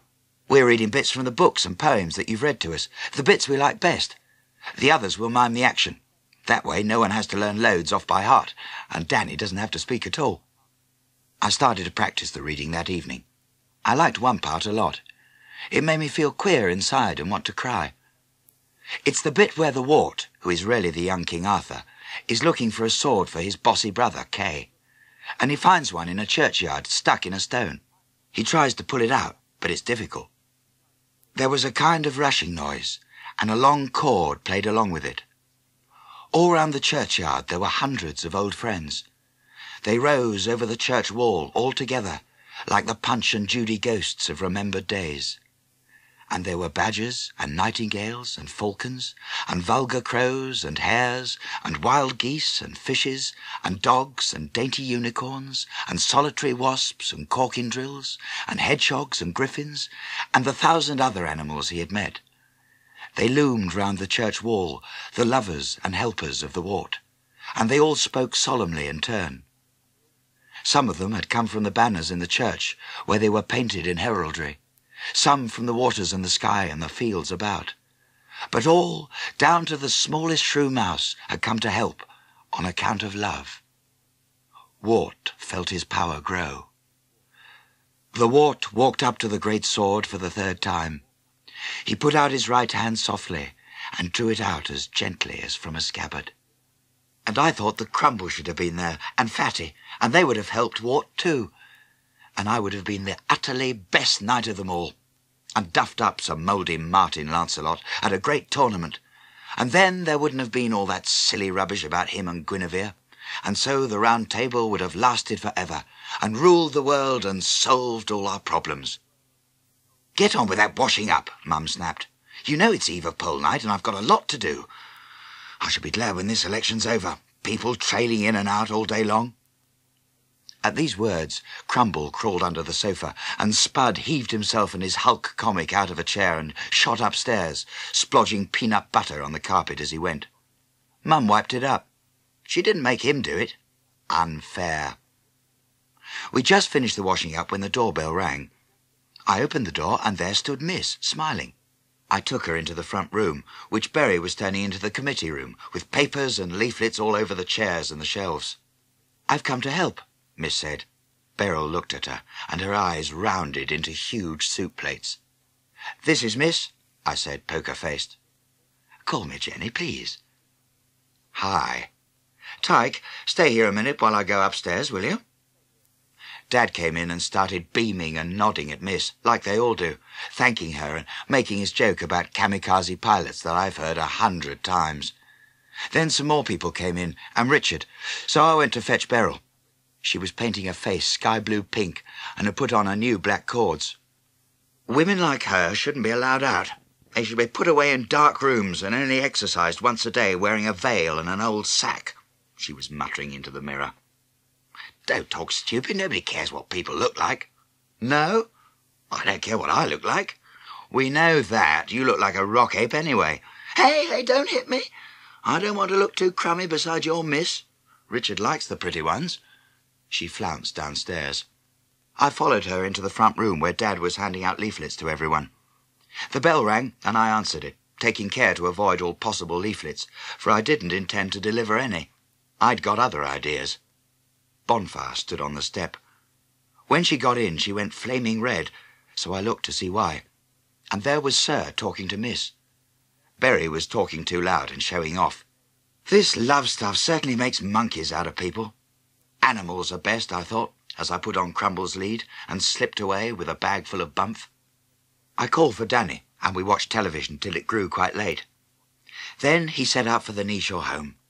We crept up and put Vote for Tiler all over the gate, and then we pussyfooted right up to the door and sellotaped a Tiler poster there. I could hear voices inside, but no one saw us. I felt a bit scary, because we'd have been in trouble if we got caught, and it gave me a headache. Danny bought some chips on the way home. It's my money I'm using. I don't think I nicked it. I ain't nicked any for ages. I've changed type, really changed. I shan't never nick anything again. It's being Sir Galahad, see? I don't think you could understand, really, but it's, it's made a big difference to me, Miss thinking me like Sir Galahad. He walked on a bit further, reciting, My strength is as the strength of ten, until I'd had enough. You've got a big idea of yourself, I yelled, and tripped him up and sat on him till he shut up. Your strength is as the strength of a flea, I reminded him, and then went home, because my headache was getting worse.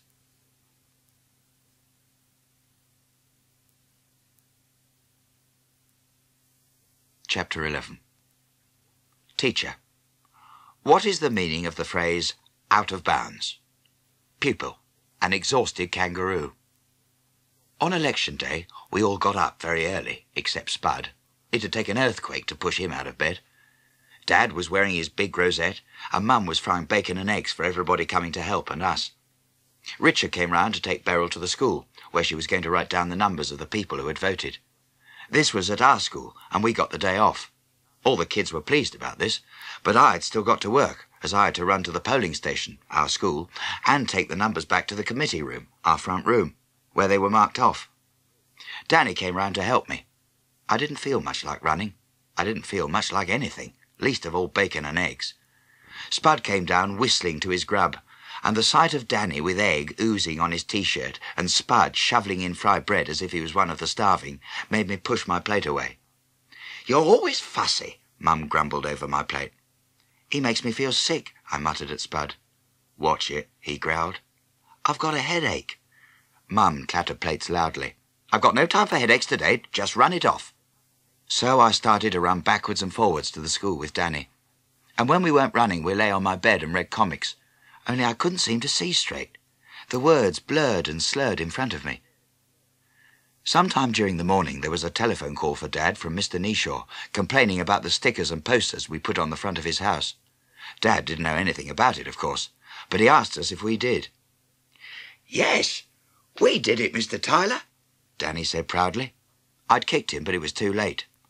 I like you, Mr. Tiler. What did he say, Dad? He says that when he's elected, he's going to bring up a complaint about it. Dad was grinning. So I can't think that we've much to worry about. It was time to go out again. My legs were aching horribly, like being on the rack. I don't feel very well, I remarked loudly as I went downstairs. Nobody seemed interested. They were all busy talking. Crumble was nowhere to be seen. She always hides under Beryl's bed on polling day because she hates all the goings and comings and fuss. I thought it was best to leave her there. Besides, I couldn't be bothered to look for a lead. We ain't seen Martin and Kevin yet, said Danny as we jogged along. I thought they was running for their dad. He's not Kevin's dad. You know what I mean, Tyke. You been funny, eh, Tyke? No. What's up? The sky. Gone, Tyke. You're in a rotten mood. I feel bad. Now leave me alone. If you feel like that. Yes, I do. Okay. You can do it on your blinking own. I couldn't care less. It was true. I couldn't have cared less about anything at all on the entire planet. My head was exploding in sharp yellow-red jags, and the world was turning sulphur sludge colour. Martin Neeshaw came quietly round the corner and tripped me up. I curved away from him against the wall. That's for mucking up our house. He kicked me in the ribs. Kevin Sims laughed. Martin Sims loomed over me, seven foot tall.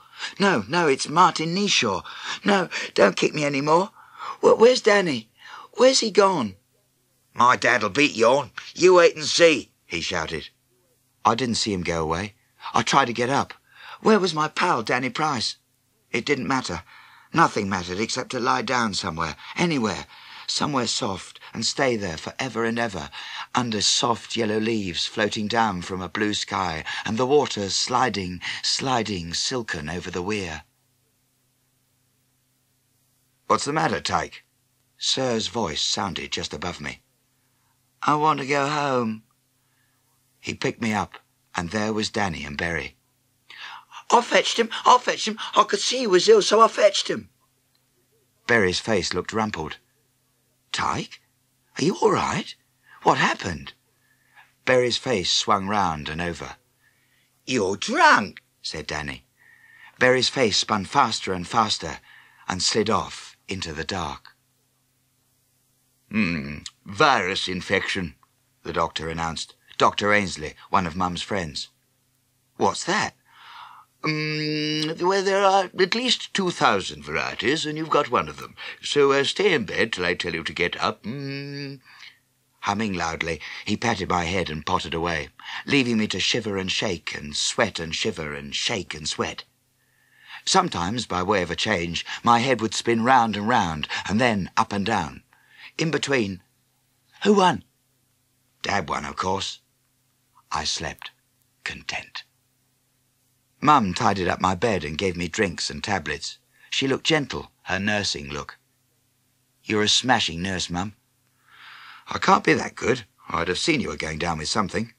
Mind you, trust you to do it on a day when everyone's too busy to notice. When can I get up? Not yet. You've been quite ill. Bad one. She smiled, and I fell asleep. I was doing that all the time, even when people were talking to me. And people did come to see me, even Spud. He brought me two copies of Marvel and a bag of sherbet and threw them on the bed from the doorway. I'm not coming anywhere near you. I don't want to catch your vile plague. He disappeared. Then his head popped round again. I'm sorry you feel bad. It was the nicest thing he's ever said to me.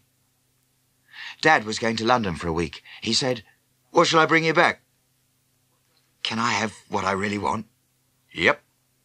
I want a rope, a really good one, so that I can use it for climbing and, oh, things. He looked at me and sighed. Is that what you really want? Mm. Oh, well. Yes, okay. I'll get you a rope since that's what you want. I started to get better, but lazy, lying around and thinking about things, especially the room in the paper mill. I got lots of ideas about improving it when I went there again. Danny started to come often, whenever he could, but Mum made him leave Fatty behind. I'm not having that creature in the house. Goodness only knows what germs it harbours. I had enough trouble keeping that dog off the bed when Tyke was ill. I was allowed to take Crumble out for short walks now. One day, just about tea time, I got back and was taking Crumble's lead off in the kitchen when I heard a voice, a voice I knew well. I peered carefully round the front room door. Chief Sir was having a cup of tea with Mum. They didn't see me. I hid myself behind a coat in the hall and listened. It's so kind of you to call. I have a reason. I crayed nearer, curious. A few weeks ago, we held the customary verbal reasoning tests. All the whirling and the whirring started off again. I swallowed terror. Their voices blurred. I couldn't hear what they were saying, and anyway, I didn't want to know. A drink of water. I needed a drink of water.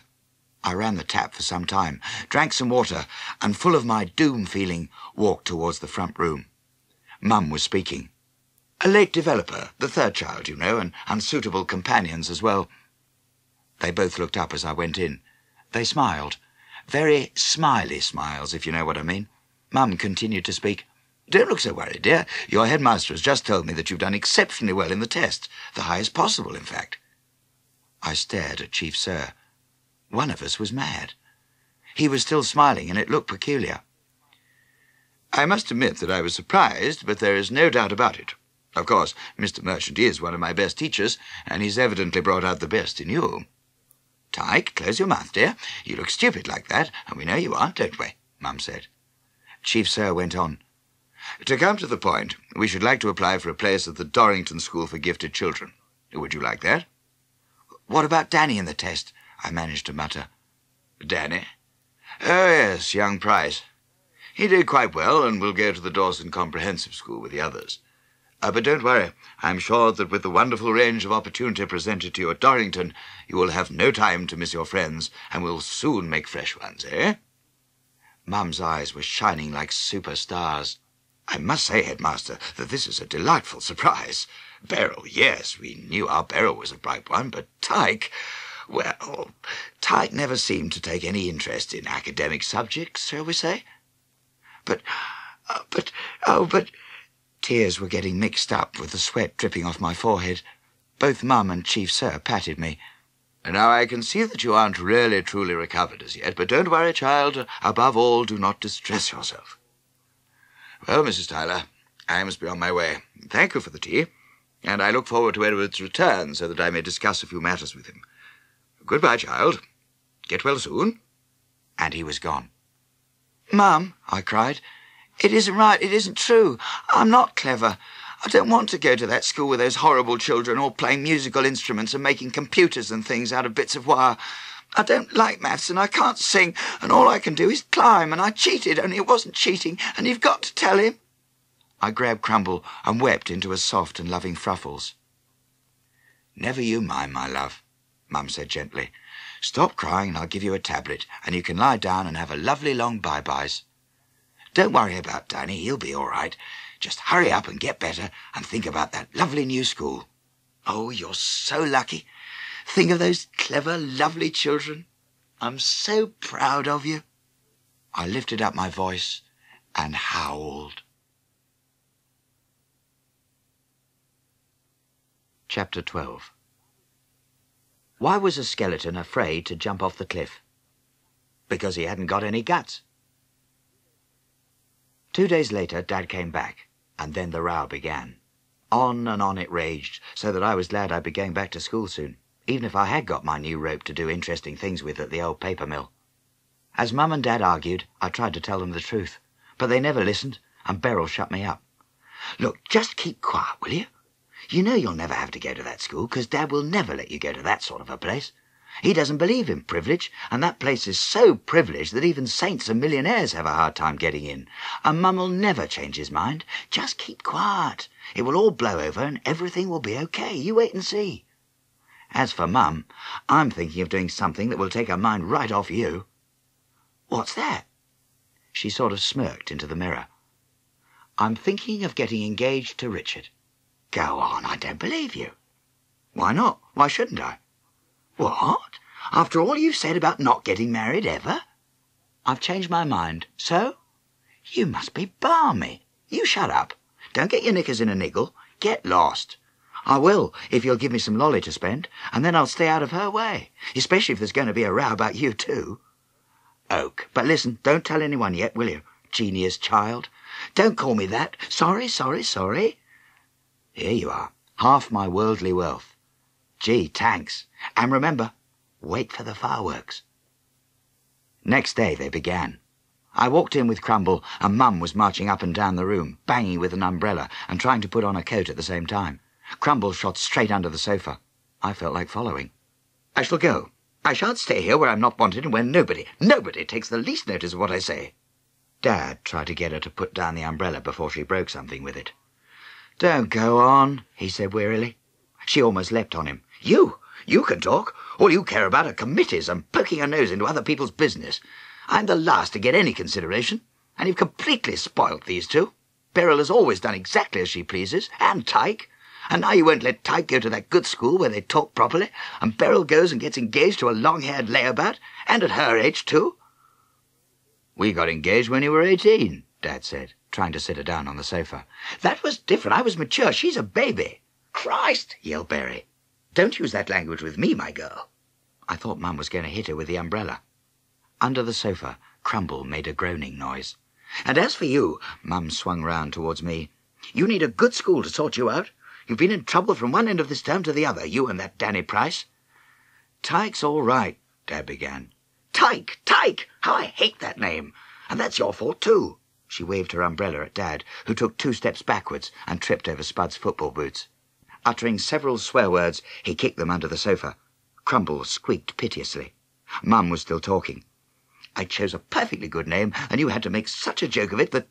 But I didn't want to hear any more. If they were starting on names, I was off. I hauled a trembling Crumble from under the sofa and retreated to my secret place in the old paper mill, where I worked out a booby trap with a piece of rope and an old tin.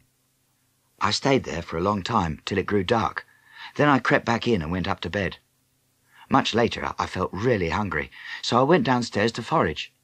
And there were Mum and Dad snogging in the kitchen. Huh! I said loudly. I'm glad you're not rowing any more, but there's no need to go that far. Oh, Tyke, Mum sighed. But she looked all soft and purry, and Dad was grinning. And I knew I didn't have to go to that school for geniuses, and that Berry could get engaged. What a stupid thing to do. Fancy getting engaged when the world's full of interesting things like climbing.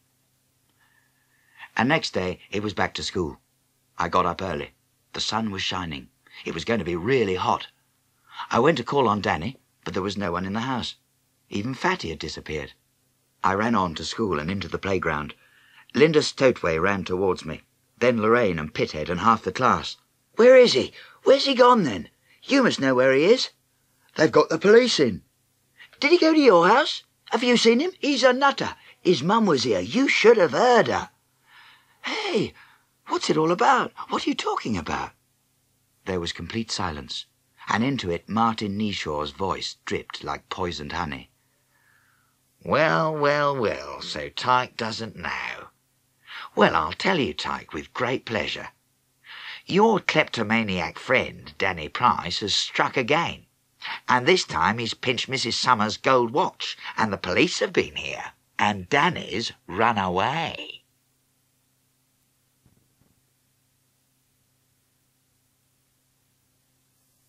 Chapter 13 A man was lost in the jungle. He heard a noise and he saw an elephant with a thorn in his foot. So the man took it out. Then the elephant said, Can I do anything for you? The man said, Yes, take me to the end of the jungle. So the elephant did. Many years went by. One day the man was at a circus, and all the elephants came in. One elephant looked at the man and went to him. The man thought that it must be the elephant he had helped many years ago. He picked the man up and smashed him on the ground. It was the wrong elephant. Paul Streeter, aged eleven.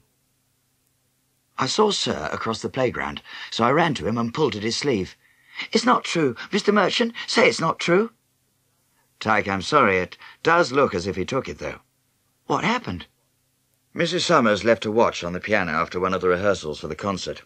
When she remembered it, she sent someone for it, but it had disappeared, and it was found in Danny's shoe bag. He was sent to the headmaster, and Mrs. Summers insisted that the police be called in. Horrible old cow. That's enough. Sorry, sir. Please go on. Danny kept crying and saying he hadn't done it, but he was so upset that no one could tell what he was saying. Something about strength. My heart is as the strength of ten, because my heart is pure. Yes, that's it. When did he run away? He managed to ask if he could go to the lavatory and must have just gone straight out of school, for he's completely vanished. The police came and Danny's mother. The police came to your house, but there was no one in. While we were out because of the rows, Danny had needed me. I know he didn't take that watch.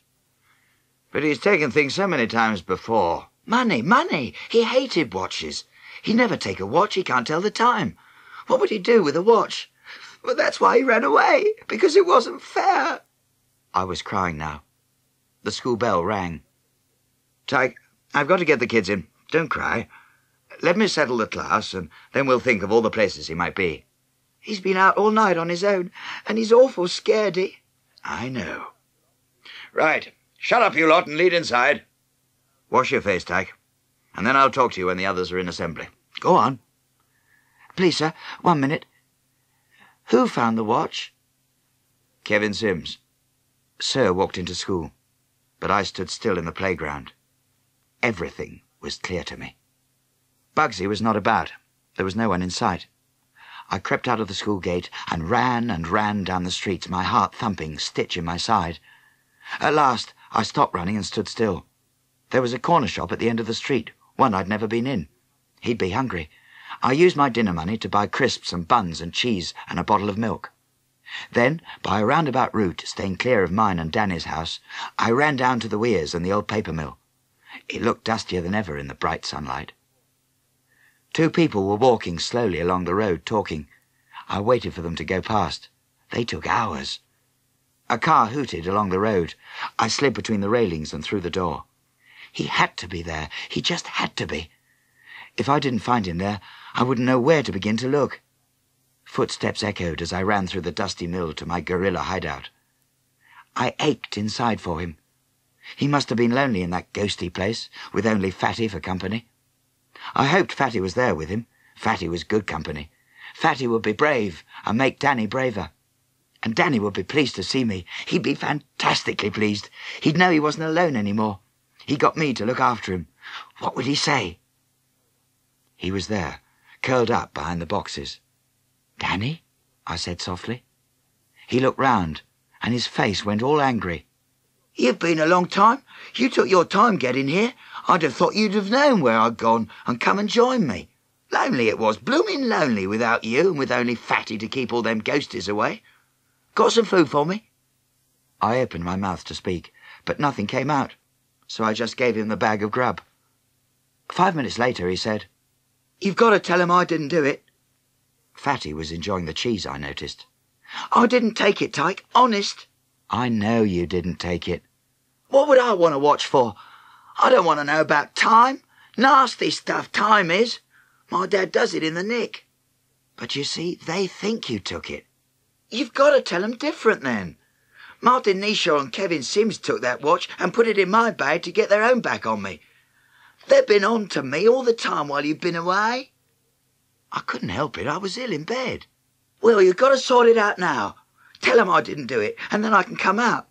I don't want to stay here, but I don't want the fuzz after me neither. Suddenly, he looked as if he was going to cry. Then he sniffed and waved his hands at me. I'll tell you how to do it. Capture Martin Kneebags and Kevin Slimy and torture 'em till they tell the truth. Oh, yeah? Me and who else? They're bigger than me. Get Pithead. What do we do to 'em? Oh, tie 'em up and hit 'em and, you know, torture 'em, like on the telly. Don't be stupid. I thought you'd help me. Yeah. Then do something. I got up. I'll think of something. Don't worry, Danny. Sort 'em out. Duff 'em in. Only don't be long, Tyke. I don't like it with the ghosties. I walked out into the sunshine, thinking, thinking. The weir roared. I didn't know what to do. It would be smashing to make Kneebags confess. But I knew I couldn't do it. It wouldn't work. Things like that only happen in books. In real life, the grown-ups run things, not the kids. I went back to Danny, but he'd fallen asleep with Fatty running over him. I put the mouse in its cardboard box and went on down the stairs and away from the mill, thinking, thinking. My dad. What would my dad do? What would he say? And I knew the answer. I didn't want to do it. Torturing Kneebags would be easier in some ways. Only real life, my real life, wasn't like that. I walked slowly back to school and up to Chief Sir's room, and stood looking at the door for a minute before I knocked on it. He was watering his little plant again. It requires a remarkable amount of liquid refreshment, he remarked.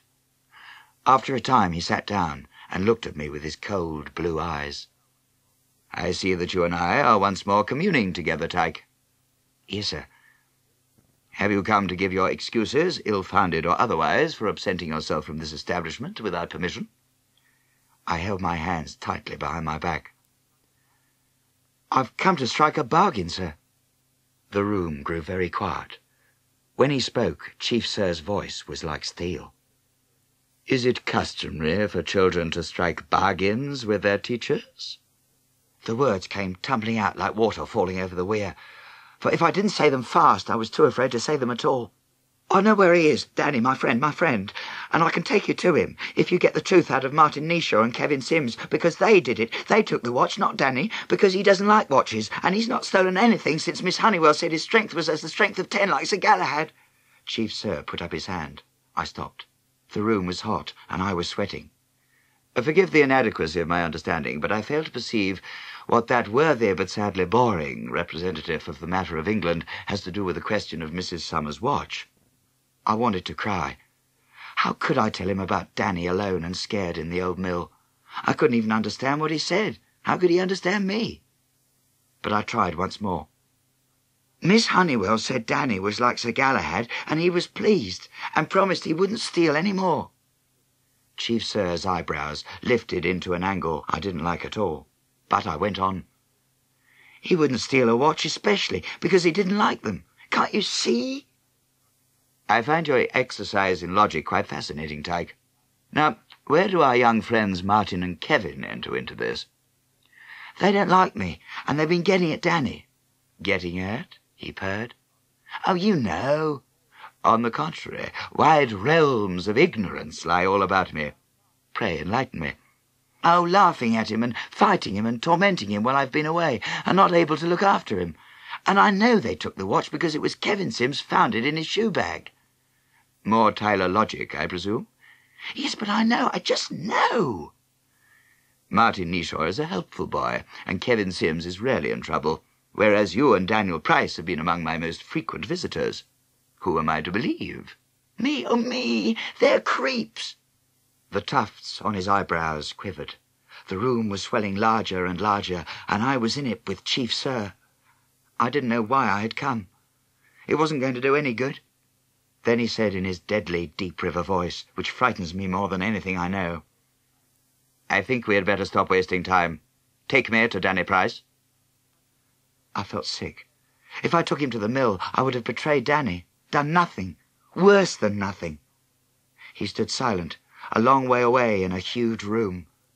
And I remembered something, a word he'd once said. Sir, please believe me. Please send for them and make them tell the truth. You can do it. You're the headmaster. And you said I wasn't much given to men... mendacity. There was a pause. Then he smiled. Sit down, he said, and went to the door. Uh, Mrs. Bennet, get a drink of water for this child, and then send for Martin Neeshaw and Kevin Sims from 4M. In the end, it was Mr. Merchant drove me to the paper mill. Chief Sir was busy talking to various people, including Mrs. Summers, Danny's mum, the police, and Kneebags and Slime. When we got there, Danny was still asleep behind the boxes. Good Lord, Sir said, looking round. I shook Danny. He yawned and stretched, and then he smiled at me. I'm glad you've come. I didn't want another night with the ghosties. Did you duff them in for me, Martin Neeshaw and Kevin Sims? Did you tell 'em all it weren't me? Yeah, Something like that, I said. Everyone was nice to us. But the next night, when I felt better again, I went back to the mill, kicked the boxes all to pieces, and carried my stuff away. I wouldn't go there any more. It wouldn't be any good. My guerrilla hideout wouldn't be the same. It was no longer a place for secrets and adventures.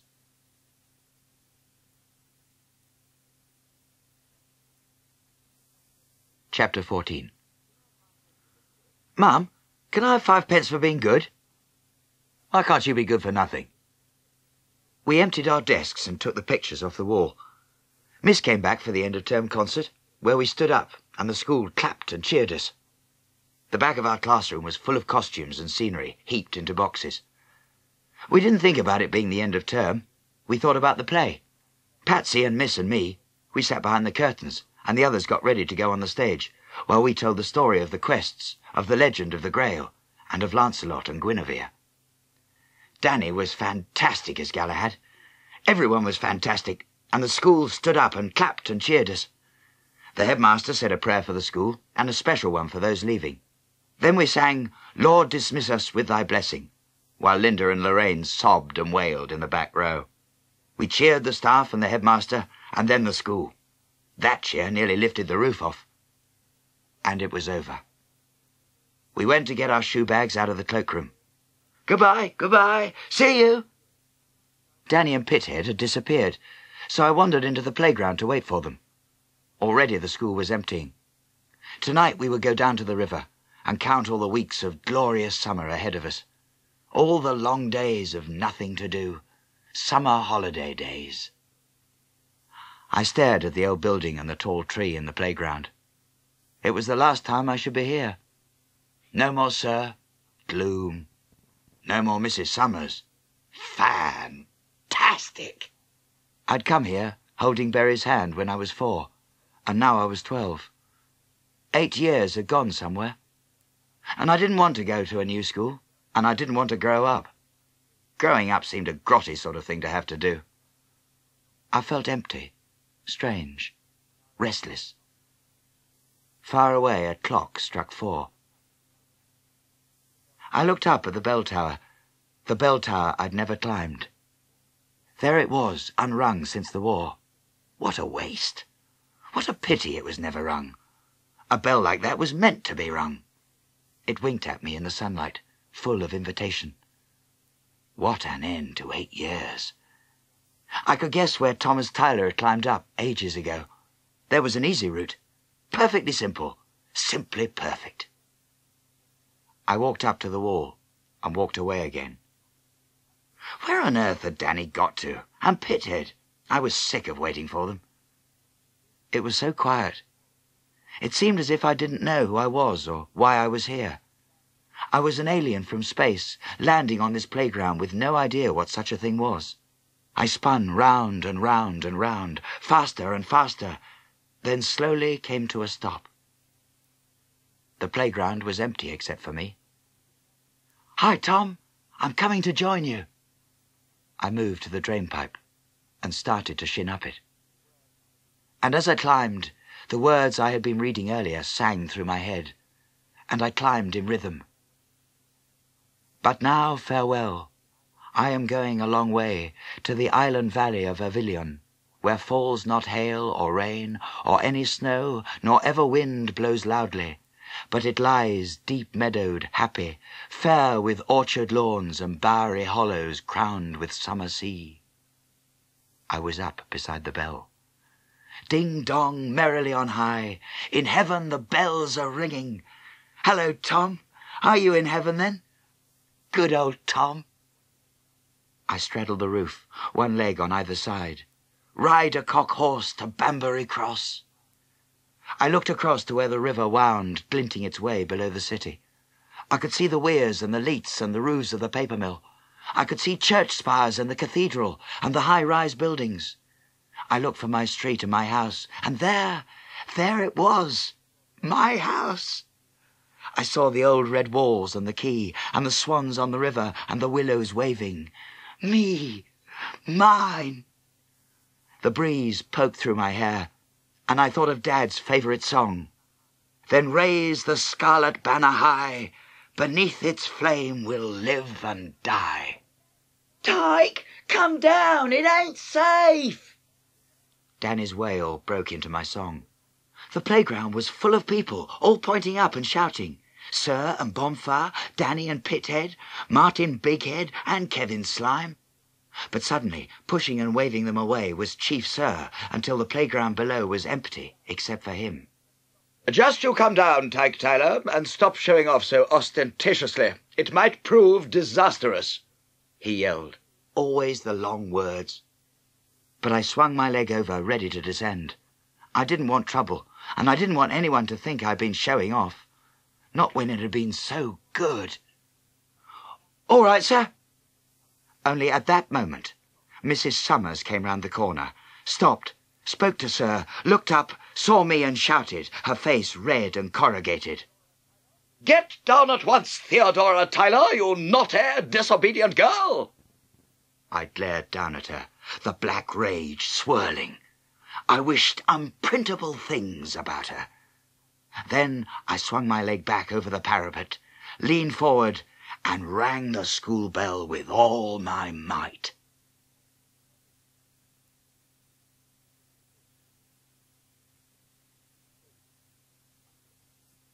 Postscript by Will Merchant. Tyke ended up in hospital with a broken arm, a broken ankle, bruises, and concussion. The school ended up with a shattered bell tower, a broken bell, slates off the roof, wrecked pipes and guttering, and a playground that looked as if a bomb had hit it. Tyke had finished off the term in fine form. That last afternoon, I'd walked round the corner of the building with Janet into a crowd of children shouting and pointing to someone on the roof. Somehow I knew it just had to be Tyke. It was. She seemed about to get down when Mrs. Summers called out to her, at which she pulled a hideous face then leaned forward and pushed the school bell. And the bell rang for the first time in years. A cheer went up from the kids watching. Stop her! Send for the police, Mrs. Summers cried. It's not safe. It hasn't been safe for years. The bell tolled again, as if summoning the whole city to come. And people came. They stopped in the street and came towards the school building and watched through the railings. Tyke stood up on the very top of the roof, hair on end, grinning from ear to ear as she pushed the bell forward and back. Janet hid her face. She suffers from vertigo. The children cheered harder.